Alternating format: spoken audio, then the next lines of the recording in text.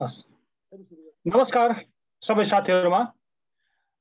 आज हामी नेपालको मात्रै नभइकन विश्वको एउटा चिनारीको रूपमा पहिचान गर्न स्थापित हुम्ला जिल्लाको केर्मे नाम्खा गाउँपालिकाको केर्मेको तातो पानीको बारेमा छलफल यो कार्यक्रम छलफल गर्दैछौँ।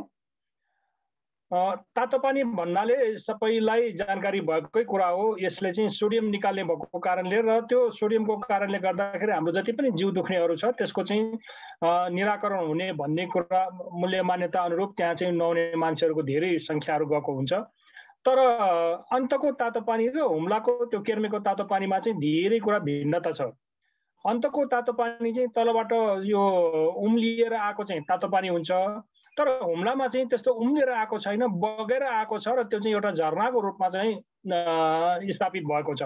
म आजभन्दा दुई हजार एघारमा त्यहाँ पुगेको थिएँ र दुई हजार एघारमा त्यहाँ पुग्दाखेरिको त्यो तातो पानी हेर्दाखेरि साँच्चै नै म अचम्मै भएको थिएँ। मैले तातो पानी त देखेको तर त्यो बगेको त्यो तलबाट चाहिँ भुलुक भुलुक उम्लेको मात्रै देखिरहेको थिएँ। तर त्यहाँ चाहिँ बगेकै पानी र त्यो पानी पनि यति तातो कि जुन कुरोलाई त्यसलाई हामीले छुनै सक्दैनौँ हातले त्यसरी आज हामी त्यही विषयमा हामी छलफल गर्नको लागि यहाँ उपस्थित भएका छौँ। र त्यसलाई चाहिँ अहिले के गरिरहेको छ भने सामाजिक आर्थिक रूपान्तरणमा चाहिँ यस यो हुम्लाको हुम्लाको मात्रै नभइकन कर्णालीकै रूपमा चाहिँ यो स्थापित गर्नको लागि के के त्यसका सम्भावना छ के के त्यसको चाहिँ यो अहिलेसम्म सुरुवात भएको छ र अब कसरी उहाँहरूले हेर्नु भएको छ भन्नको लागि हामीले एकजना सामाजिक अभियन्ता कान्जोक लामालाई हामीले यहाँ निम्त्याएका छौँ। कान्जोक लामाजी उहाँको धेरै प्रकाशनहरू पुस्तकहरू प्रकाशित भएको छ। उहाँ पच्चिस वर्षभन्दा लामो समयसम्म चाहिँ टिचिङ प्रोफेसन प्लस यो सामाजिक कार्यमा संलग्न हुनुहुन्छ।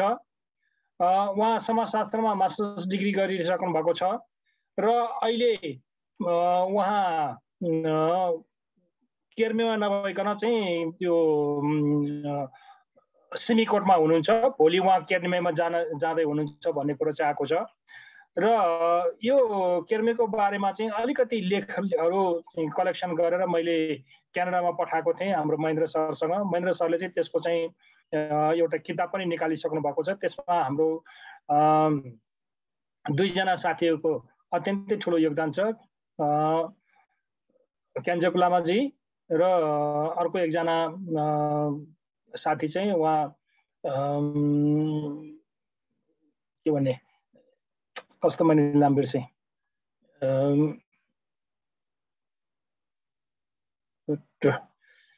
म एकछिन पछि भनौँला नाम सम्झेपछि। यति भन्दै मैले अब यो नेपालको मात्रै नभइकन विश्वलाई चिनाउने एक किसिमको तातो पानीको बारेमा त्यहाँको र सामाजिक आर्थिक परिवेशको बारेमा र अहिले भएको चाहिँ त्यसका प्रयासहरू र भोलिको लागि गर्न सकिने सामाजिक आर्थिक रूपान्तरणमा के गर्न सकिन्छ भन्ने कुरालाई प्रस्ट्याइदिनको लागि म हुम्लाबाट क्यान्जोक लामाजीलाई अनुरोध गर्दछु। क्यान्जोक सर तपाईँ अगाडि बढ्नुहोस् आफ्नो कुरा राख्नको लागि। यहाँहरू सबैमा नमस्कार छ सर। पुनः नमस्कार। विशेष गरेर यो केर्मीमा भएको यो प्राकृतिक तातो पानीको बारेमा जुन प्रवर्धन गर्न खोज्नु भएको छ जुन आजको यो कार्यक्रम संयोजन गर्नुभएको छ लेकाली सरले चाहिँ धेरै धेरै हृदयदेखि म धन्यवाद दिन चाहन्छु। अब केर्मीमा चाहिँ पर पूर्वकालदेखि एउटा गाउँमा बगिरहेको प्राकृतिक तातो पानीलाई हामीले एउटा खोलोको रूपमा बग्ने खोलोको रूपमा मात्रै देखेका छौँ। त्यति मात्रै चिनेका छौँ र त्यसबाट चाहिँ हुन सक्ने आर्थिक लाभका सम्भावनाहरू धेरै देखिन्छ अहिलेको जमानामा। तैपनि हामी त्यो तातो पानीमा पैसा भोगेर गएको महसुस हुन्छ तर त्यो पैसा टिपेर चाहिँ आर्थिक रूपान्तरणको कुरा आर्थिक समृद्धिको कुरामा चाहिँ हामी जोड्न सकेका छैनौँ त्यो दुर्भाग्यको कुरा हो। र सहरहरूको सहयोग सहायताले भावी दिनहरूमा चाहिँ त्यो तातो पानी चाहिँ साँच्चीकै यो केर्मीको मात्रै नभएर हुम्ला र कर्णाली प्रदेशकै आर्थिक समृद्धिको लागि सहयोग पुग्नेछ भन्ने म पनि विश्वास गर्दछु र यहाँहरूको सहयोगको पनि अपेक्षा राख्दछु। केर्मी गाउँ अब परापूर्वकालदेखि त्यहाँ पशुपालन र कृषि उत्पादन क्षेत्रको हिसाबले अलिकति हुम्ला जिल्लाका भएका पहिला विगतमा सत्ताइस गाउँ गाविस र हाल सातवटा स्थानीय तह। नाम सातवटा स्थानीय तहमध्ये एउटा प्रख्यात ठाउँको रूपमा चिनारी भएको छ। पहिला पहिला त्यहाँ पशुपालन पनि गर्दथ्यो र हालका दिनहरूमा चाहिँ यो चरण क्षेत्रहरूको चाहिँ सङ्कुचनले गर्दाखेरि र नेपालमा चाहिँ यो वन नीति राष्ट्रिय वन नीति अथवा सामुदायिक वनको कारणले चरी चरणको चाहिँ क्षेत्रलाई चाहिँ विस्तार हुन सकेन खुम्चिन गयो र पहिला पहिला हाम्रो पुर्खाहरूले हिउँदको छ महिना आछाम डोटी तल तराईसम्म मधेसम्म झरेर त्यहाँबाट अन्न ल्याउने र बोटको नुनसँग साट्ने र बर्खाको छ महिना बोटमा लगेर त्यताको पाटनहरूमा चराउने गर्दथ्यो भने अहिले चाहिँ अब यो हिउँदको सिजनमा अब तलतिर लान सक्ने अवस्था रहेन। अनि त्यसपछि यो यातायातको सुविधा विकास बाटो रोड खुल्ने सिलसिलामा अहिले हुम्लामा जोडिसकेको त छैन तर नजिक नजिक आइपुग्दाखेरि अब पहिलाको ट्रान्सपोर्टेसनको मुडमा प्रयोग हुने जुन भेडा पालनहरू हो त्यो चाहिँ अहिले सङ्कटमा परेर करिब करिब लो भइसकेको छ। त्यसका अन्य कारणहरू पनि छन्। अनि अर्को चाहिँ कृषि उत्पादन क्षेत्रको हिसाबले पनि केर्मी चाहिँ अलिकति अन्य गाउँहरूभन्दा धेरै उत्पादन हुने ठाउँ हो। यहाँ प्रायः जसो बढी उत्पादन हुनेमा चाहिँ उवा जौ गहुँहरू हुन्छ फापरहरू हुन्छ चिनो कागुन स्थानीय जातका रेथाने बालीहरू चाहिँ उत्पादन हुन्छ। अनि अहिलेको नयाँ सन्दर्भमा चाहिँ आलु र तरकारी खेती र फलफुल खेती गर्नलाई पनि उपयुक्त ठाउँ रहेको छ। तर हामीले सोचे अनुसारको चाहिँ त्यसलाई अगाडि बढाउन अपेक्षित रूपले अगाडि बढाउन चाहिँ सकेका छैनौँ। किनभने हतपत तुरुन्तै पुरानो पेसालाई त्याग्न नसकिने नयाँ गर्ने बित्तिकै त्यसले ठाउँ लिन नसकिने अवस्था जुन ट्रान्समिसन पिरियडमा छौँ जस्तै अब यो तातो पानी व्यवस्थापन र सुधारको कुरा जुन ल्याउनु भएको छ त्यो अति नै आवश्यक देखिन्छ। तर त्यसलाई पनि अब कसरी व्यवस्थापन गर्ने व्यवस्थापन गर्ने तौर तरिकाहरू र त्यसलाई चाहिँ कसरी सञ्चालनमा ल्याउने ती कुराहरू चाहिँ एउटा कुरा जटिल एउटा समस्याको रूपमा छ। किनभने त्यो तातो पानी खोलाको रूपमा बग्छ र त्यहाँ भएका उत्पादन क्षेत्र जमिनहरूको लागि सिँचाइ गर्ने मूल स्रोत पनि त्यही तातो पानी हो। र तातो पानीलाई चाहिँ यसो दायाँ बायाँ मेन खोलादेखि दायाँ बायाँ हामीले सिँचाइको लागि लग्यो भने त्यसलाई चाहिँ त्यही सही ठाउँमा व्यवस्थापन गर्नलाई समस्या हुने तर पानीलाई चाहिँ खोलामा बगाउन दियो भने त्यहाँबाट चाहिँ हामीले फेरि केही आर्थिक लाभहरू समुद्र समृद्धि गर्न सक्ने अवस्था नरहेको। त्यो दुई तिनवटा किसिमका चाहिँ कुराहरू छ। पहिल्यैदेखि मैले पनि तातो पानी सुधार लाग्नुपर्छ। विभिन्न सङ्घ संस्थाहरूले चाहिँ त्यसमा सहयोग गर्ने जुन उहाँहरूको उत्सुकता र जाँगर चाहिँ थियो। अब त्यसलाई चाहिँ प्र्याक्टिकल्ली हामी लिन खोज्दाखेरि अब आधुनिक तरिकाले चाहिँ बनाउँदाखेरि त्यहाँ धारा हुनुपर्ने नुहाउने बाथरुम हरेक सेपरेट टाइपको पाउन्ड हामी चाहिँ अब के भन्छ स्विमिङ पुलको त्यस्तो अपेक्षा गर्छौँ र त्यो सम्भव पनि छ। तर त्यो गर्न बित्तिकै हामीसँग पानीको स्रोत जुन चाहिँ कृषि जमिनहरूमा चाहिँ सिँचाइ पानीको अभाव हुने हुनाले चाहिँ त्यतातिर चाहिँ पानी लान चाहिँ नसकिएको अवस्था छ। हालै चाहिँ अहिले यो वन कार्यालय कृषि पर्यटन प्रदेश सरकारको कृषि वन पर्यटन त्यो मन्त्रालयबाट चाहिँ केही योजनामा आएर चाहिँ त्यो तातो पानी सुधार र व्यवस्थापनको नाममा चाहिँ योजना आएको छ। त्यसलाई चाहिँ मेरो मेरै नेतृत्व मेरै सुझावमा चाहिँ अब हामी दायाँ बायाँ लगेर चाहिँ गर्ने कुरा चाहिँ च्यालेन्जिङ छ। हाम्रो जहिले पनि प्रश्न चाहिँ यो सिँचाइको पानीको अभाव हुन्छ। त्यसैले त्यो पानीले चाहिँ बाहिर लान मिल्दैन। त्यही खोलामा नै पाउन्ड बनाउने खोलामै प्राकृतिक रूपमा व्यवस्थापन गर्ने किसिमको चाहिँ सोचले बनाएका छौँ। त्यो अहिले सम्पन्न भएको छ। अहिले यो आर्थिक मसान्तमा चाहिँ त्यो सम्पन्न भइसकेको छ। त्यो चाहिँ आर्थिक रूपले चाहिँ फेरि सम्भावना चाहिँ होइन। त्यो नेचुरल रूपमा चाहिँ हामीले व्यवस्थापन गऱ्यौँ त्यहीँकै जनताहरूले चाहिँ नुहाउने लुगा धुने र उसको लागि सहज र सुविधाको लागि मात्रै त्यो तयार गरेको फेरि आधुनिक मोडलमा चाहिँ त्यहाँनिर चाहिँ अब बनाउनलाई चाहिँ फेरि ठाउँ पनि छैन खोलामा दायाँ बायाँ लानलाई चाहिँ पानी सिँचाइमा चाहिँ अभाव हुने। तै पनि अब यो अहिले चाहिँ कसरी गर्न सकिन्छ? ती भावी दिनहरूमा चाहिँ सरहरूसँग टेक्निकल कुराहरूमा चाहिँ हामी छलफल गर्ने नै छौँ। अनि त्यो अचम्महरू ता तातो पानी कस्तो छ भन्ने कुरा केही कुराहरू लेगाली सरले अघि भनिसक्नु भएको छ त्यो अचम्मको। कस्तो हो भने पानी चाहिँ बक बक बक बक बक तपाईँको मूलमा उम्लिन्छ। एकपटक चाहिँ विदेशीले त्यहाँ थर्मोमिटरले नै नापेको थियो नाइन्टी फोर सेन्टिग्रेड छ भन्ने कुरा चाहिँ उसले त्यतिखेर टिप्यो। अनि मेरो बाल्यकालको चाहिँ अनुभव मसँग के छ भन्दाखेरि मेरो घरमा चाहिँ बुवा आमाले चाहिँ पहिल्यैदेखि कुखुरा पाल्नुहुन्थ्यो। अनि आलु खेती स्याउ खेतीमा चाहिँ उहाँहरूले चाहिँ नमुनाको रूपमा चाहिँ सुरुवात गर्नेहरू मध्येमा चाहिँ मेरो अभिभावक बुवा आमाहरू हुनुहुन्थ्यो। अनि म चाहिँ सानो बच्चा हुँदाखेरि अनि कुखुराको अन्डा चोरेर लाने बारीबाट आलु कोरेर लाने तातो पानीमा जाने त्यो जहाँ मूल चाहिँ बक बक बक उम्लिन्छ उम्लिने ठाउँमा डुबाएर राख्ने। अनि परतिर चाहिँ चिसो पानी मिसाएर ठाउँमा चाहिँ नुहाउने लुगा धुने अनि फ्रेस भइसकेपछि यता चाहिँ ठ्याक्कै नास्ता तयार भए जस्तो। त्यहाँ अन्डा पनि पाक्छ। आलु पनि पाक्छ त्यो परिक्षणबाटै मैले गरेको चाहिँ त्यहाँबाट अभ्यासबाट प्रुभ कुरा हो त्यो। त्यो मुहानमा चाहिँ त्यो किसिमको चाहिँ व्यवस्था छ। त्यहाँबाट चाहिँ नुहाउने कुराहरूमा चाहिँ के गर्न सकिन्छ भन्दाखेरि एउटा तातो पानी चिसो पानी मिलाएर चाहिँ ठ्याक्कको चाहिँ ताप क्रम मिलाएर चाहिँ एउटा पानीले नुहाउने। अर्को चाहिँ त्यो मूलमा नै तपाईँको यो झ्याङहरू राखेर के भन्छ यो छोपेर त्यसमा चाहिँ बाफबाट स्टिम बाथ पनि गर्ने। दुईवटा प्रयोजनहरू। अहिले चाहिँ मैले यो काठमाडौँतिर स्टिम बाथको पनि त्यो देखेको छु होइन? अब त्यसले चाहिँ रोगको उपचार गर्ने कुरा आफ्नो ठाउँमा छ। एउटा नुहाउने तरिकालाई पनि विविधीकरण गर्न सक्ने अवस्था छ। अब त्यसलाई चाहिँ सरहरूले त्यसमा एकदमै इन्ट्रेस्ट देखाउनु भएको छ मलाई पनि खुसी लागेको छ। मैले पनि विगत आफूलाई जबसम्म यो तातो पानीको अनौठोपन र त्यसलाई चाहिँ कसरी आर्थिक अथवा चाहिँ सहयोगको रूपान्तरमा गर्न सकिने सम्भावनाको बारेमा मेरो पनि दिमाग चाहिँ चलिरहेको अवस्था त्यसले केही न केही गर्न उपयोग गर्न सकिन्छ। एउटा चाहिँ स्टिम बाथको रूपमा दोस्रो कुरो चाहिँ त्यही पानी बगेको पानीलाई चाहिँ कसरी यो सिँचाइसँग सन्तुलन मिलाएर कसरी व्यवस्थापन गर्ने? त्यसका पनि केही आइडियाहरू पनि छ।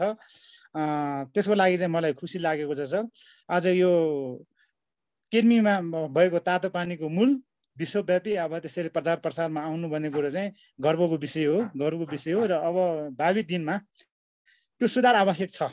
र सुधारका केही आइडियाहरू चाहिँ अहिले तत्काल चाहिँ मैले त्यहाँकै समुदायको लागि नुहाउन लुगा धुन उनीहरूको लागि सहज व्यवस्थापनको लागि मात्रै मैले सम्बन्धित खोलाभित्र नै पाउन्ड बनाएर त्यसलाई व्यवस्थापन गर्ने सुधार चाहिँ गरेका छु। अब त्यसलाई चाहिँ अलिकति आधुनिक डिजाइनमा अलिकति अब फराकिलो हिसाबले आर्थिक अब इन्कमको हिसाबले अब त्यसलाई लैजानको निम्ति अलिकति ब्रड माइन्डले सोच्नुपर्ने र अलिकति टेक्निकल्ली त्यहाँ हेरेर एउटा चाहिँ सोसियो इकोनोमिक रूपले पनि बुझ्नु पऱ्यो एउटा चाहिँ अब इन्कम जेनेरेसनको रूपले पनि बुझ्नु पऱ्यो दुइटा पाटालाई चाहिँ।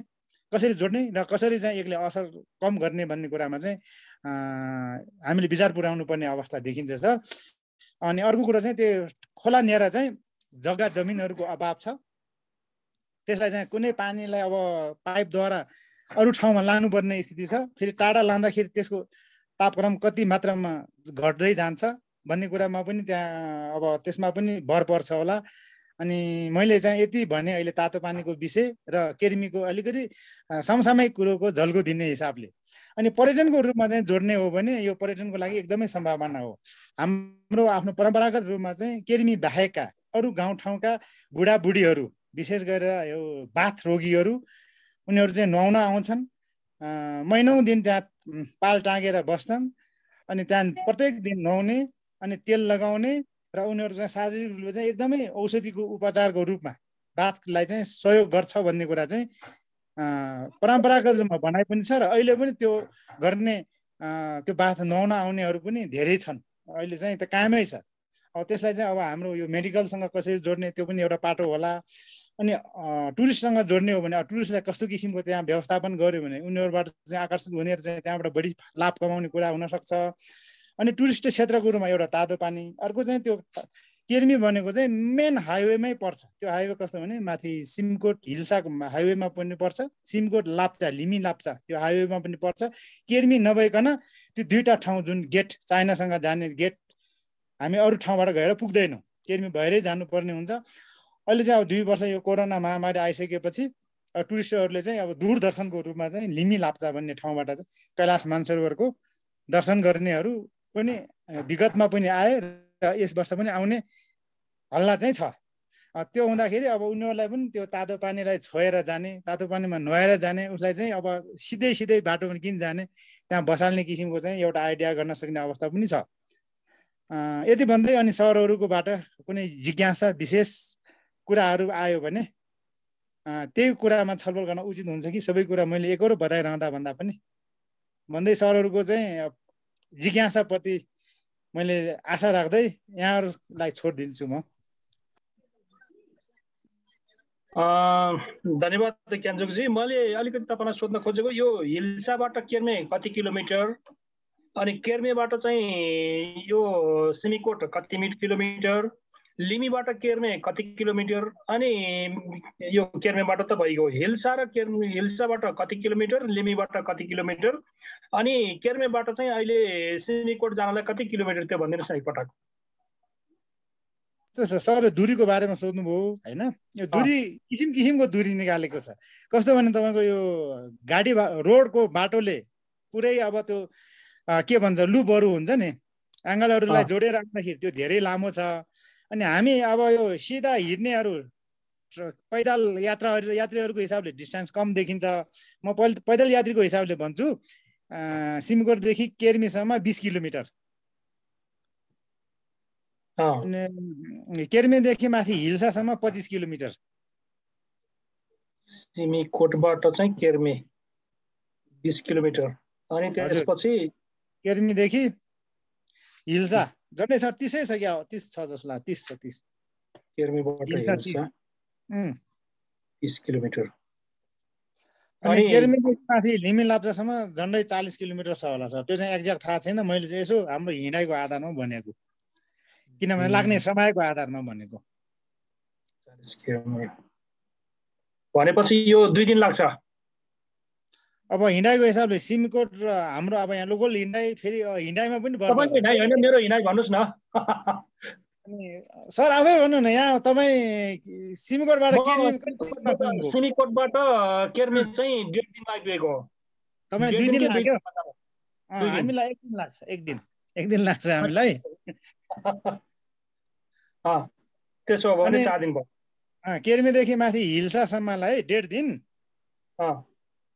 अनि अर्को चाहिँ त्यो लिमी लाप्चासम्म झन्डै तपाईँको साढे दुई दिन।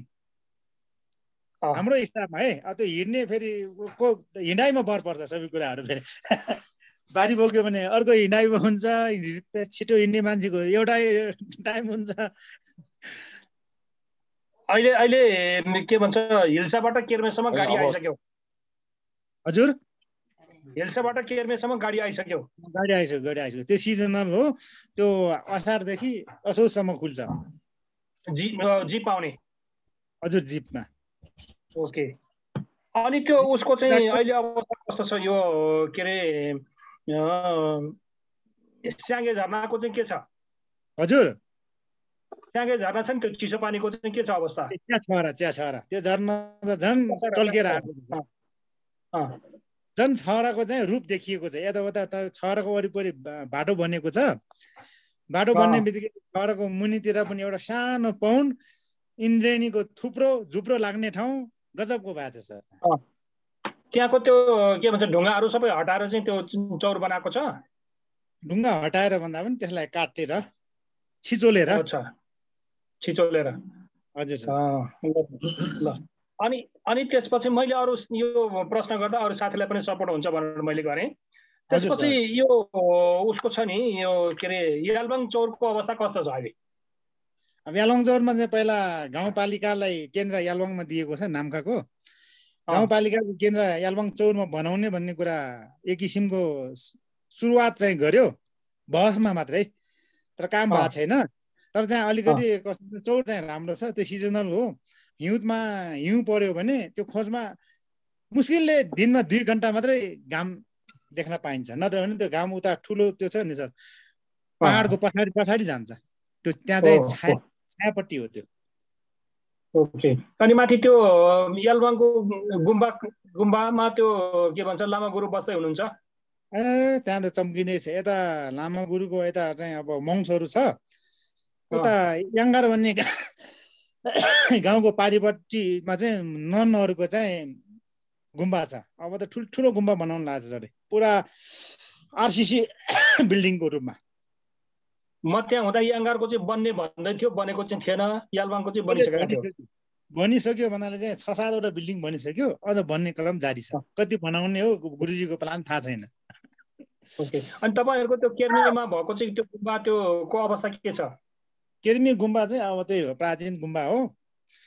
दुई किसिमको चाहिँ हाम्रो लामा हुन्छ। एउटा अवतारी लामा हो माथि यालवाङ गुम्बाको चाहिँ केर्मी गुम्बाको लामा चाहिँ रेखी लामा हो परम्परागत बाउ आमाले त्यो वंशावलीमा सर्दै गरेर छोराले चलाउने नातिले चलाउने त्यो गुम्बा चाहिँ जगाइराख्ने हो त्यो।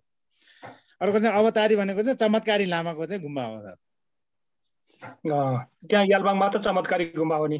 हो। अवतारी पनि हो चमत्कारी पनि हो। के अरे मेरो के मेरो नाम के निवारण गरिदिए त मैले बिर्सेँ नाम पनि।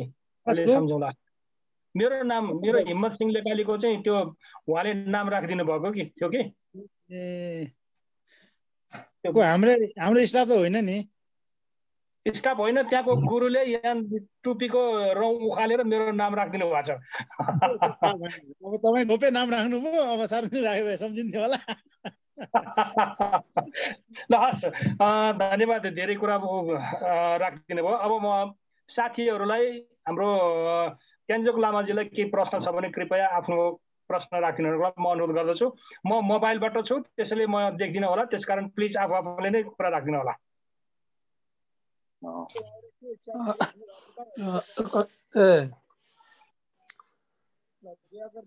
विमल सर बोल्न लाग्नु होला ठिक छ हजुर मैले म म सुरु गरौँ है सर। सबभन्दा त अलिकति अब हिम्मत सरले सुरु गर्दाखेरि कान्जोक लामाज्यूको अलिकति अलिकति अझै बढी परिचय पाएको भए राम्रो हुन्थ्यो होला। उहाँको शिक्षा दीक्षा मास्टर्स गरेको मात्रै थाहा पाइयो। स्कुल चाहिँ उहाँ कहाँ? बुढानी स्कुल पढ्नुभएको लामाजी तपाईँ? सबै होइन प्रारम्भिक तहको शिक्षा गाउँमै हो केरमी गाउँमा। अनि माध्यमिक तहको चाहिँ शिक्षा यालबाङमा हो जुन अहिले ठुलो गुम्बा छ लामा छ भन्दै हुनुहुन्थ्यो नि हिम्मत सरले।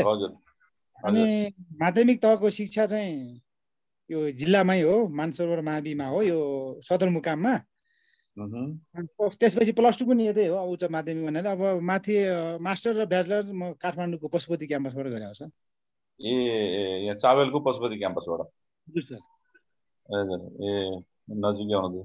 अनि अहिले अर्को एउटा नि अब त टोपोग्राफी मतलब त्यहाँको उचाइको कुरा नि अब अब मा धेरै नै उच्च ठाउँ छ भन्ने कुरा त अब थाहा छ त्यो। तर जस्तो अब एकचोटि सिमीकोट पुगिसकेपछि त्यसपछि चाहिँ तपाईँको चाहिँ जति पनि अब भनौँ न हुम्ला जिल्लाको ठाउँहरूमा जानलाई यातायातको अब चाहिँ अहिले अब नयाँ बाटोहरू बन्दैछ खुल्दैछ कतिसम्म त गाडी चलि पनि सक्यो। त्यहाँ चाहिँ कतिको डरलाग्दो बाटोहरू छ? के छ त्यो वास्तविकता कस्तो छ त्यहाँको स्थिति? अब यो भर्खर भर्खर टाको ओपन भएको हो होइन सर? राम्रोसँग सेट पनि भएको छैन पिच पनि भएको छैन। त्यो हुँदाखेरि अहिले अहिले चाहिँ डेन्जरस अवस्था हो अब त्यति अब अहिलेसम्म घटना त छिटफुट त घटेकै हो होइन सर? त्यति अब सहज ढुक्क अब तराई काठमाडौँ पाहाडको रोड जस्तो सोच्नुपर्ने अवस्था चाहिँ छैन। अलिकति डेन्जरै हो किनभने पहाडै पहाड फोडेर फोडेर लगेको छ होइन? अनि धेरै ढोजरले खाँदाखेरि माथिबाट अब त्यो इरोजिन पनि भएको छ कतिपय ठाउँमा पहिरोहरू पनि गएको छ होइन? तर अब संयोगले भाग्यले अहिले त्यस्तो नराम्रो घटनाहरू खासै चाहिँ त्यति धेरै चाहिँ भएको छैन। छिटफुट त भएको छ। अहिले भर्खर थाहा भइहाल्छ नि सर भर्खर यो के भन्छ यो पुरै सेटमा नआएको अलिकति फुस्रो फुस्रो हुन्छ नि। अनि अर्को कुरा चाहिँ यहाँ सिक्किममा मात्रै चल्छ सर हिउँदमा चाहिँ अब हिउँ पर्ने भएको हुनाले अटोमेटिक बन्द हुन्छ। बर्खामा पनि नियमित मर्मत गर्ने त्यहाँ डोजर स्ट्यान्ड स्ट्यान्ड भएन भने त्यहाँ पनि कहिले हप्ता दिन दस दिन पन्ध्र दिन महिना दिन पनि कहिले बर्खामा पनि बन्द भइदिन्छ सर। नभए अब जस्तो अब मुस्ताङको जस्तो चाहिँ त्यहाँको पनि हावापानीहरू मुस्ताङको जस्तो छ कि कस्तो छ त अब मुस्ताङ र माथि हाम्रो ताकलाकोट भन्छ। अब ताकलाकोट त सिमा नै भयो नि सर। सिमाना हो होइन सर म त्यो भन्दैछु। म त मुस्ताङ गएको चाहिँ छैन। तर चाहिँ मैले यो त्यसमा देखेको टिभीहरूमा अरू अरूमा यो डकुमेन्ट्रीहरूमा देखे अनुसार त्यो चाहिँ उनीहरू जस्तो छैन। हामी कहाँ चाहिँ वन जङ्गल पनि छ। माथिल्लो मुस्ताङतिर त वन जङ्गल छैन पुरै त्यो डेजर्ट एरिया छ। त्यो चाहिँ हाम्रो माथि लिमिटसँग मिल्छ। लिमी र माथि तालाकरसँग मिल्छ। हाम्रो माथि माथि पनि उस्तै छ सर। अनि अब अब सिमीकोटबाट बाटो बन्यो र चाहिँ भनौँ न सिजन राम्रो सिजनमा चाहिँ गाडीमा ताकलकोट पुग्नलाई कति घन्टा लाग्छ होला? अब ताकलकोट चाहिँ अहिले सिमाना छोडिरहेको छैन सर। यो कोरोना महामारी आएदेखि दुई वर्ष ठ्याप्पै यो वर्ष पनि अहिलेसम्म छोडेको छैन उनीहरूले बन्द गरिदिएको छ। माथि हामी जान्नै पाउँदैन सर है। यदि अब हिँड्नु पर्यो भने यहाँबाट एक दिन गाडीमा पुरै लाग्छ जस्तो लाग्छ बाह्र घन्टाभन्दा बढी लाग्छ। मिनिमम बाह्र घन्टा लाग्ने भयो। सिमिकोटदेखि माथि सिमी सिमी सिमीकोटबाट? हिल्सासम्म। सिमीकोटबाट कि केर्मीबाट तपाईँको? सिमिकोटबाट भन्दैछु सिमिकोट। ए हजुर बिचमा केर्मी पुग्छ। केर्मी अहिले तपाईँको दुई घन्टा साढे दुई घन्टामा पुग्छ अहिले यो जिपमा बलेरो जिपमा। अनि अब तपाईँले अघि जुन कुराहरू भन्नुभयो अब यो पर्यटनको कुरा कृषिको कुराहरू अब त्यसबाट चाहिँ तपाईँको चाहिँ अब बजारसम्मको पहुँचको कुरा आउँछ नि तपाईँको उत्पादन त त्यहाँ गऱ्यो अरे अनि त्यहाँबाट चाहिँ बजार पुर्याउनु पर्ने अथवा चाहिँ पर्यटकलाई पनि त्यहाँ लानु पर्ने यस्ता कुराहरूमा चाहिँ अब पर्यटक त गयो भने साना पर्यटक चाहिँ अब महिनामा गएर त खासै त केही त्यस्तो त अर्थ रहँदैन होला जस्तो लाग्छ होइन? के छ सम्भावना? कस्तो छ? अब रारातालको। कारणले गर्दाखेरि त यतातिर मुगुहरूतिर त छ। हुम्लामा चाहिँ पर्यटकहरू जानुपर्ने कारण के हो? अब चिनको बोर्डर बन्द भएपछि। होइन सर अब उनीहरू चिनको बोर्डर बन्द भएपछि त चिनमा जाने कुरा रहेन अर्को वैकल्पिक मैले भने दूरदर्शन लिमी लाप्चा भन्ने ठाउँबाट सिधै चाहिँ तपाईँको ऐना हेरेको हिसाबले चाहिँ हाम्रो कैलाश मानसरोवरको चाहिँ सिधै दर्शन पाउँछ। जुन पहिला इन्डियामा चाहिँ के थाहा पाउनु भयो लिमी लाप्चा भन्ने ठाउँबाट? हो त्यो पोइन्टबाट चाहिँ भ्यू पोइन्ट त्यहाँबाट दर्शन गर्न सकिन्छ। त्यसमा चाहिँ भारत भारतीय पर्यटकहरू आउँछ। इन्डियन टुरिस्ट उनीहरू सकिन्छ। त्यही समय उही चाइनामै गएर कैलाशको चाहिँ प्रत्यक्ष दर्शन। त्यहाँ छोडेन भने पनि नेपाल र चाइनाको सिमाना जुन लिमी लाप्चाबाट दूरदर्शन गर्ने। अहिले पनि यो सत गुरुको टिम आउने भन्ने कुरा चाहिँ हल्लामा सुन्न आएको छ सर। यो पर्यटन व्यवसायहरूको बिचमा भएको कुराहरू हो। हामी त्यता। आबद्ध भएनौँ। त्यसको चाहिँ वास्तविकता थाहा छैन तर यसपालि पनि इन्डियन टुरिस्टहरू धेरै आउने छन् भन्ने कुरा चाहिँ हल्ला आएको छ सर। ए। त्यो अब त्यहाँबाट कति बोर्डर चाहिँ कति किलो किलोमिटर हो तपाईँले भनेको ठाउँबाट चाहिँ लिमी लाप्चाबाट चाहिँ? अब लिमी लाप्चा भनेकै बोर्डर हो त्यो बोर्डर पोइन्ट हो सर। त्यहाँदेखि अगाडि आउँदैन लिमी लाप्चा भनेको दुईवटा पोइन्ट छ। एउटा चाहिँ हिल्सा भयो आधिकारिक नाका चाहिँ हिल्सा हो। त्यहाँ चाहिँ चेक पोस्ट पनि बसेको पा पारवन परम्परागतदेखि चाहिँ पहिलादेखि व्यापार गर्ने पारवन हरेक कुरा चाहिँ खुल्ला बोर्डर चाहिँ त्यता हो। अनि गाडी चढेर आउने जाने पनि। लिमीको चाहिँ के हो भने त्यहाँबाट चाहिँ हामी दर्शन गर्ने मात्रै हो त्यो अनाकन्टा ठाउँबाट चाहिँ सिधै अब दर्शनको लागि दूरदर्शनको लागि मात्रै हो सर जाने। तर अब मानसरोवरमा नुहाउँछु भन्दा त नुहाउने सौभाग्य चाहिँ पाइँदैन नि त्यस त्यहाँ पुग्दा होइन, त्यहाँबाट त पाइएन। यो। लिमी लाप्चाबाट पाइएन लिमी लाप्चाबाट दर्शन मात्रै दूरदर्शन त्यो पनि। अनि अब कृषिको कुराहरू तपाईँले त्यहाँ चाहिँ जस्तो अब मुस्ताङहरूमा या अहिले अब मनाङमा पनि स्याउ खेतीहरू सुरु गरेको छ हुम्लामा चाहिँ त्यसको चाहिँ सम्भावना कस्तो छ अथवा के भइरहेको छ त्यसको बारेमा अलिकति छोटो जानकारी पाउनु सर अब गएको यो एक दशक भनौँ न अब शान् शान्ति स्थापना पछि भनौँ न त्यसपछि त धेरै प्रयासहरू चाहिँ भएको छ सर होइन? नभएको चाहिँ होइन। अब यहाँ चाहिँ कस्तो भइदियो भने सबैको चाहिँ एकै ठाउँमा नहुने आफ्नो जग्गामा चाहिँ धेरैले गरेका छन् यो फलफुल खेतीहरू। तर यसको समस्या चाहिँ के. हुने भयो भने सिजनल त्यहाँनिर चाहिँ उत्पादन हुने भयो। जस्तै अहिलेको हिसाबले. चाहिँ भदौ असोजमा स्याउ पाक्छ त्यतिखेर फलाफल हुन्छ। हरेकको घरमा हुन्छ कसैले किन्ने होइन। आफूले खाएर सिद्धिने पनि होइन। अब बजार छैन। अब सिमीकोट अब सदरमुकाम हो सिमीकोटमा पनि आफ्नै उत्पादन हुन्छ त्यहाँ स्याउ। तर लानुपर्ने माध्यम भनेको जहाज हो। अब जहाजमा लिएर चाहिँ अब बेच्न सकिँदैन। एक दोस्रो कुरो चाहिँ लङ टाइम यो स्टोरेज यो भण्डारणको समस्या छ। लङ टाइम त्यसलाई चाहिँ अब हामीले फागुन चैतमा बेच्न सक्ने बनायो भनेपछि त फेरि मालामाल हुन्थ्यो। त्यति जेलसम्म चाहिँ फेरि राख्ने कोल्ड स्टोरहरूको पनि अभाव। भए पनि त्यति राम्रोसँग हुँदो रहेनछ। कतिपय ठाउँमा कोल्ड स्टोरेज पनि बनाएको छ। है त्यो भए पनि तपाईँको यो चाउरिने खुम्चिने अनि फ्रेस चाहिँ बस्दो रहेनछ। क्वालिटी धेरै खस्किँदो रहेछ। अब त्यसको लागि प्रोसेसिङको कुरा हुन विकल्प हुनसक्छ जस्तै जाम जेलीहरू। त्यो प्याकिङ गर्यो भने त्यसको पनि अब कति। हुन्छ? भण्डारण अथवा प्याकेजिङ चाहिँ डेट एक्सपायर डेट त्यसमा पनि अलिकति ध्यान पुर्याउनु पर्नेछ। अहिले चाहिँ उत्पादनको हिसाबले पछि गाडी चल्यो भने कमाइ हुनसक्छ। अहिलेको लागि पर्याप्त भन्नु पर्यो।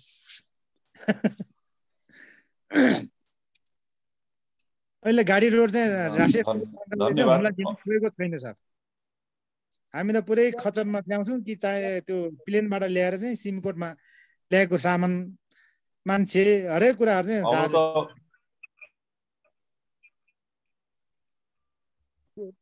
हजुर। अहिले अब सिमीकोटबाट चाहिँ जुम्ला ल्याउनलाई कति कति दिन लाग्छ गाडीमा?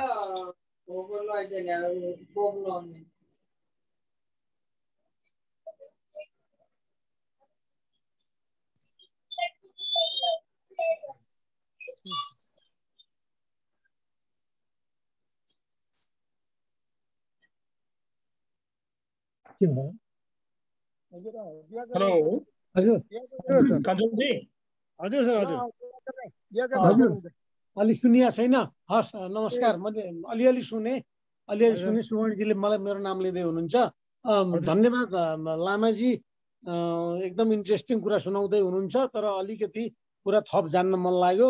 अनि। हामीलाई चाहिँ मलाई कस्तो लागेको छ भने हामी मानौ चाहिँ हुम्लामा गएका छौँ त्यहीँ वरपर र अलिकति आँखामा पट्टी बाँधेर अनि तपाईँले चाहिँ हामीलाई भन्दै हुनुहुन्छ जस्तो र अलिअलि देखे जस्तो पनि घरिघरि। तर धेरै जसो आँखा चिम्ले जस्तो नै अवस्था मैले भएको जस्तो मानेको छु है। अब तैपनि अब तपाईँले हाम्रो पट्टी पक्का पनि बिस्तारै बिस्तारै खोलिदिनु भएको छ। त्यसको लागि धेरै धन्यवाद।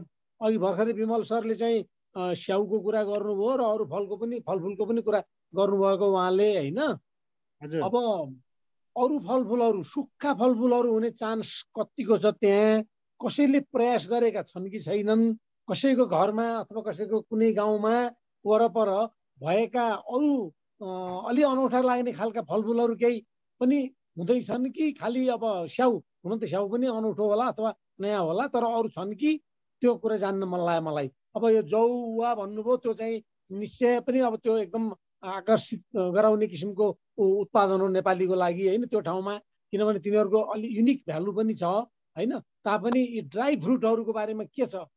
कस्तो किसिमको चाहिँ देखिन्छ यसो रूपरेखा हेर्दा? त्यो मैले जान्न खोजेको। जस्तै ड्राई ओखर। ओखर ओखर ए। होला अब सुकाएर सुकाएर बेचिने खालका फलफुलहरू हुन्छन् नि।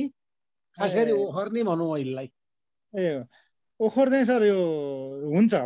पछिल्लो लहरमा चाहिँ यो दाँते ओखरको लहर चाहिँ पछाडि आएको हो। पहिला हाम्रो आफ्नो प्राकृतिक रूपमा चाहिँ पहिल्यैदेखि चाहिँ उत्पादन हुने पाउने फलफुलको रूपमा चाहिँ ओखर हो सर। हाडे ओखर पनि छ। दाँते ओखर पनि अहिले चाहिँ यो खेती गर्यो भने त्यो पनि सक्सेस भएको छ। त्यो सम्भावना चाहिँ धेरै छ सर। अनि अर्को यो स्याउ जस्तै अरू- अर्को रूपमा चाहिँ आरूहरू छन्। आरू प्राकृतिक रूपमा यहीँ जङ्गलमा पाउने खम्बु भन्छ लोकल नाम चुली भन्छ होइन। तिनीहरू पनि पाउँछन्। तिनीहरू पनि त्यही हो। सिजनमा चाहिँ लटरन नै फल्छ भदौमा पाक्छ। त्यो सबै एकैचोटि झर्छ। अनि त्यसपछि फेरि स्टोर कति कति सुकाउन चाहिँ मिल्दो रहेछ सर होइन? अनि सुकाए पनि फेरि उयो हो अलिकति बजारकै समस्या देखिएको माने छु। यहाँबाट चाहिँ अलिकति महँगो हुने महँगो चाहिँ अब प्रतिस्पर्धा बजारमा प्रतिस्पर्धा गर्न नसकिने। बजारमा प्रतिस्पर्धा गर्न नसकेपछि त सबैले के खाँदैन कि सस्तो खान्छ धेरैको पहुँच अब यहाँबाट चाहिँ एउटा यातायातको कारण हो सर। अनि दोस्रो कुरो चाहिँ अब त्यसको अलिकति अब सुकाउने त्यो प्रोसेसिङमा चाहिँ अलि लागिरहेको अवस्था चाहिँ छैन। प्रोसेसिङ गर्दा त प्रोसेसिङ गर्दा त अरू किसिमका खर्चहरू पनि धेरै लाग्छन् नि लागेन त किनभने बोतल लिएर जानुपर्ने पनि खर्च नै भयो चिनी मिसाउनु पर्यो फेरि चिनी एभाइलेबल हुनु पर्यो होइन। कुनै। मिस्त्रीहरूको कामहरू केही बिग्रियो भनेदेखि मिस्त्री। लगाउनु पर्यो फेरि त्यहाँ त्यसले गर्दा। प्रोसेसिङको काम त धेरै नै गाह्रो हो होइन त्यो। भन्दा त वास्तवमा भनौँ न दाँते ओखर हाडे। ओखर होइन कि दाँते ओखरतिर मानिसहरू चाहिँ मानिसहरू त्यतापट्टि लाग्न सक्ने हो भनेदेखि त्यसले बजार पाउन सक्ने सम्भावना बढी नै हुन्छ होला किनभने त्यो जुनसुकै सिजनमा पनि जहिले पनि बेच्न सकिने राख्न सकिने किसिमको वस्तु हो होइन? त्यसो हुनाले। दाँते ओखरको बारेमा अलिकति भनौँ एउटा र अर्को पानी कति आउँछ त्यहाँ? हामीलाई त थाहा छैन मैले भनिहालेँ नि हामी त पुरा आँखा बाँधे पट्टी बाँधेको जस्तो मान्छे छौँ। गए पनि त्यहाँ एक एक सिजन गइयो होला अनि सधैँभरि चैतमा के आँखा फुटेको गोरुले जहिलेसुकै त्यस्तै देख्छ अथवा साउनमा आँखा फुटेको गोरुले जहिले पनि हरियो देख्छ भने जस्तो हामी त्यहाँ वर्ष दिनभरि बसेको त मेरो विचारमा कोही पनि छैन होला तपाईँ बाहेक होइन लामाजी। बाहेक हामी एक वर्षसम्म त्यहाँ बसेको सम्भवतः कोही पनि छैनौँ होला होइन त्यसो हुनाले वर्ष दिनभरिको हावापानी र पानी पर्ने शैलीको बारेमा पनि अलिकति सुनाइदिनु भयो भने अलिअलि हामीलाई केही आइडिया आउँथ्यो कि भनेर मैले जान्न चाहेको एकदमै सर सरले धेरै राम्रो कुरा सोध्नुभयो होइन। सरहरूलाई पनि अनुमान चाहिँ गर्न पक्कै पनि सक्नुहुन्छ। यो क्षेत्र भनेको अलिकति बढी जसो सुक्खा र चिसो ठाउँ नै हो कम्पेरिटिभली है सर तुलनात्मक रूपमा। यहाँ चाहिँ पानी पर्यो भने पनि अब सधैँ एकनासले पर्ने होइन। पर्दाखेरि एकछिन जर्रा परिहाल्ने एकैछिनमा चाहिँ छोडिहाल्ने। अब नर्मल्ली चाहिँ यहाँ वार्षिक औसत वर्षा चाहिँ सर छ सयदेखि आठ सय मिलिमिटर वार्षिक पर्दो रहेछ। म म चाहिँ त्यो जल मौसम विज्ञान विभागसँग पनि आबद्ध छु होइन सर। त्यहाँनिर चाहिँ एउटा स्टेसनमा चाहिँ मैले पनि त्यो डाटा चाहिँ त्यहाँबाट सङ्कलन गरेर पठाउने काम पनि गर्छु।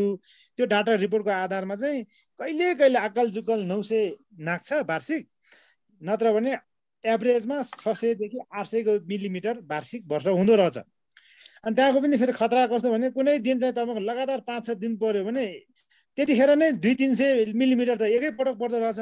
अनि अरू दिनमा चाहिँ अब पोइन्ट फाइभ छिट फुट त्यस्तै हावाहुरी असिना त्यस्ता त्यस्ताले गर्दाखेरि त्यो नियमित सस्टेन नहुने खालको सर सुक्खा धेरै हुने कम वर्षा हुने क्षेत्र चाहिँ हो।